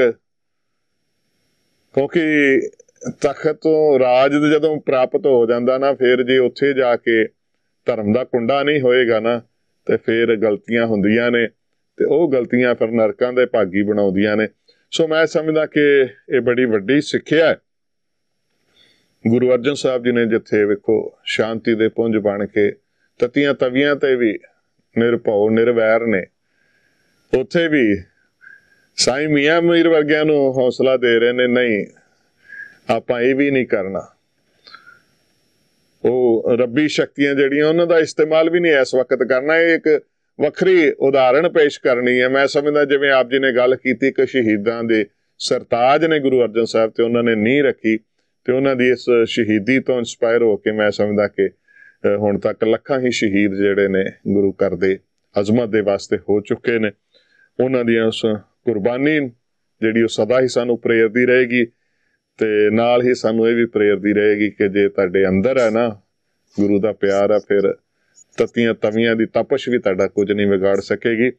ਸੋ ਭਾਈ ਸਾਹਿਬ, ਬਿਲਕੁਲ ਸਮਾਂ ਸਾਡੇ ਕੋਲ ਬਹੁਤ ਸੰਕੋਚਵਾ 1 ਮਿੰਟ ਦੇ ਵਿੱਚ ਅਸੀਂ ਚਾਹਾਂਗੇ ਕਿ ਆਪ ਜੀ ਸਾਡੇ ਨਾਲ ਅੱਜ ਦੇ ਇਸ ਵਿਸ਼ੇ ਨੂੰ ਸੰਕੋਚਦੇ ਹੋਏ ਆਪਾਂ ਨਮਸਕਾਰ ਕਰੀਏ ਸਤਿਗੁਰ ਸੱਚੇ ਪਾਤਸ਼ਾਹ ਸਤਿਗੁਰ ਪੰਚਮ ਪਾਤਸ਼ਾਹ ਨੇ ਸ਼ਹਾਦਤ ਦੇ ਕੇ ਜਗਤ ਨੂੰ ਇੱਕ ਗੱਲ ਹੋਰ ਦਰਸਾ ਦਿੱਤੀ। ਕਿ ਇਬਾਦਤ ਤੋਂ ਬਿਨਾ ਸ਼ਹਾਦਤ ਸੰਭਵ ਨਹੀਂ। ਕੇਵਲ ਗੱਲਾਂ ਕਰਨ ਵਾਲੇ ਕਦੇ ਆਪਣੇ ਲਹੂ ਨੂੰ ਕੁਰਬਾਨ ਨਹੀਂ ਕਰ ਸਕਦੇ ਕਿਉਂਕਿ ਕੁਰਬਾਨੀ ਉੱਥੇ ਹੀ ਹੈ ਜਿੱਥੇ ਗੁਰਬਾਣੀ ਜਦੋਂ ਤੱਕ ਜੀਵਨ ਵਿੱਚ ਬਾਣੀ ਨਹੀਂ ਪੜੀ ਗੁਰੂ ਦੇ ਇਤਿਹਾਸ ਨੂੰ ਨਹੀਂ ਸਮਝਿਆ ਬਾਣੀ ਦੇ ਵਿਚਾਰ ਨੂੰ ਨਹੀਂ ਜਾਣਿਆ ਫਿਰ ਮਾਫ ਕਰਨਾ ਕੇਵਲ ਗੱਲਾਂ ਨੇ ਤੇ ਗੱਲੀ ਜੋਗ ਨਾ ਹੋਈ ਗੱਲਾਂ ਨਾਲ ਸ਼ਹਾਦਤ ਦੀ ਗੱਲ ਕਰਨੀ ਮਾਫ ਕਰਨਾ ਅਸੀਂ ਸ਼ਹਾਦਤ ਦਾ ਕੀ ਦੇਣੀ? ਕੁਰਬਾਨੀ ਦਾ ਕੀ ਦੇਣੀ? ਅਸੀਂ ਤੇ ਅੱਜ ਗੁਰੂ ਦੀ ਸ਼ਹਾਦਤ ਨੂੰ ਵੀ ਵਿਸਾਰ ਬੈਠੇ ਆ ਸੋ ਗੁਰੂ ਦੀ ਸ਼ਹਾਦਤ ਨੂੰ ਸਦਾ ਚੇਤੇ ਵਿੱਚ ਰੱਖੀਏ। ਗੁਰੂ ਅਰਜਨ ਦੇਵ ਜੀ ਦੇ ਪਿਆਰ ਦੇ ਵਿੱਚ ਜੀਵਨ ਨੂੰ ਜੀਵੀਏ ਤੇ ਫਿਰ ਸੱਚੇ ਪਾਤਸ਼ਾਹ ਤਰੋਂ ਕਰੋ ਰਹਿਮਤਾਂ ਤੇ ਬਖਸ਼ਿਸ਼ਾਂ ਦਾ ਮੀਂਹ ਵਰਸਾਉਂਦੇ ਨੇ। ਬਸ ਅਖੀਰ ਵਿੱਚ ਇੱਕ ਬੇਨਤੀ ਕਰਦੇ ਆ ਅੱਜ ਦਾ ਸਿੱਖ ਕੋਈ ਨੋਟ ਪਿੱਛੇ ਕੋਈ ਵੋਟ ਪਿੱਛੇ ਗੁਰੂ ਤੋਂ ਬੇਮੁਖ ਹੋ ਗਿਆ ਪਰ ਸਚਾਈ ਬਿਆਨ ਕਰਦੇ ਆ ਕਿਸੇ ਕੋਲ ਨੋਟ ਏ। ਕਿਸੇ ਕੋਲ ਵੋਟ ਏ ਸਾਡੇ ਕੋਲ ਗੁਰੂ ਅਰਜਨ ਦੇਵ ਜੀ ਦੇ ਚਰਨਾਂ ਦੀ ਓਟ ਬਿਲਕੁਲ। ਅਸੀਂ ਉਸ ਓਟ ਦੇ ਨਾਲ ਜੁੜੇ ਆ ਅਸੀਂ ਉਸੇ ਓਟ ਦੇ ਨਾਲ ਜੁੜੇ ਰਹਿਣਾ। ਆਸ ਓਟ ਪ੍ਰਭ ਤੋਰੀ ਅਸੀਂ ਉਸ ਓਟ ਦੇ ਨਾਲ ਜੁੜੇ ਰਹੀਏ। ਸੋ ਨਮਸਕਾਰ ਕਰਦੇ ਹਾਂ ਸਤਿਗੁਰ ਸੱਚੇ ਪਾਤਸ਼ਾਹ ਜੀ ਦੇ ਚਰਨਾਂ ਤੇ ਉਹਨਾਂ ਸਾਰੇ ਗੁਰਸਿੱਖਾਂ ਦੇ ਜਿਨ੍ਹਾਂ ਨੇ ਉਸ ਵੇਲੇ ਸੇਵਾਵਾਂ ਨਿਭਾਈਆਂ। ਸਾਈਂ ਮੀਆਂ ਮੀਰ ਜੀ ਨੂੰ ਨਮਸਕਾਰ ਹੈ। ਫਤਿਹ ਅਰਜ਼ ਕਰਦੇ ਹੋਏ ਆਗਿਆ ਲੈਂਦੇ ਹਾਂ ਜੀ। ਵਾਹਿਗੁਰੂ ਜੀ ਕਾ ਖਾਲਸਾ। ਵਾਹਿਗੁਰੂ ਜੀ ਕੀ ਫਤਿਹ।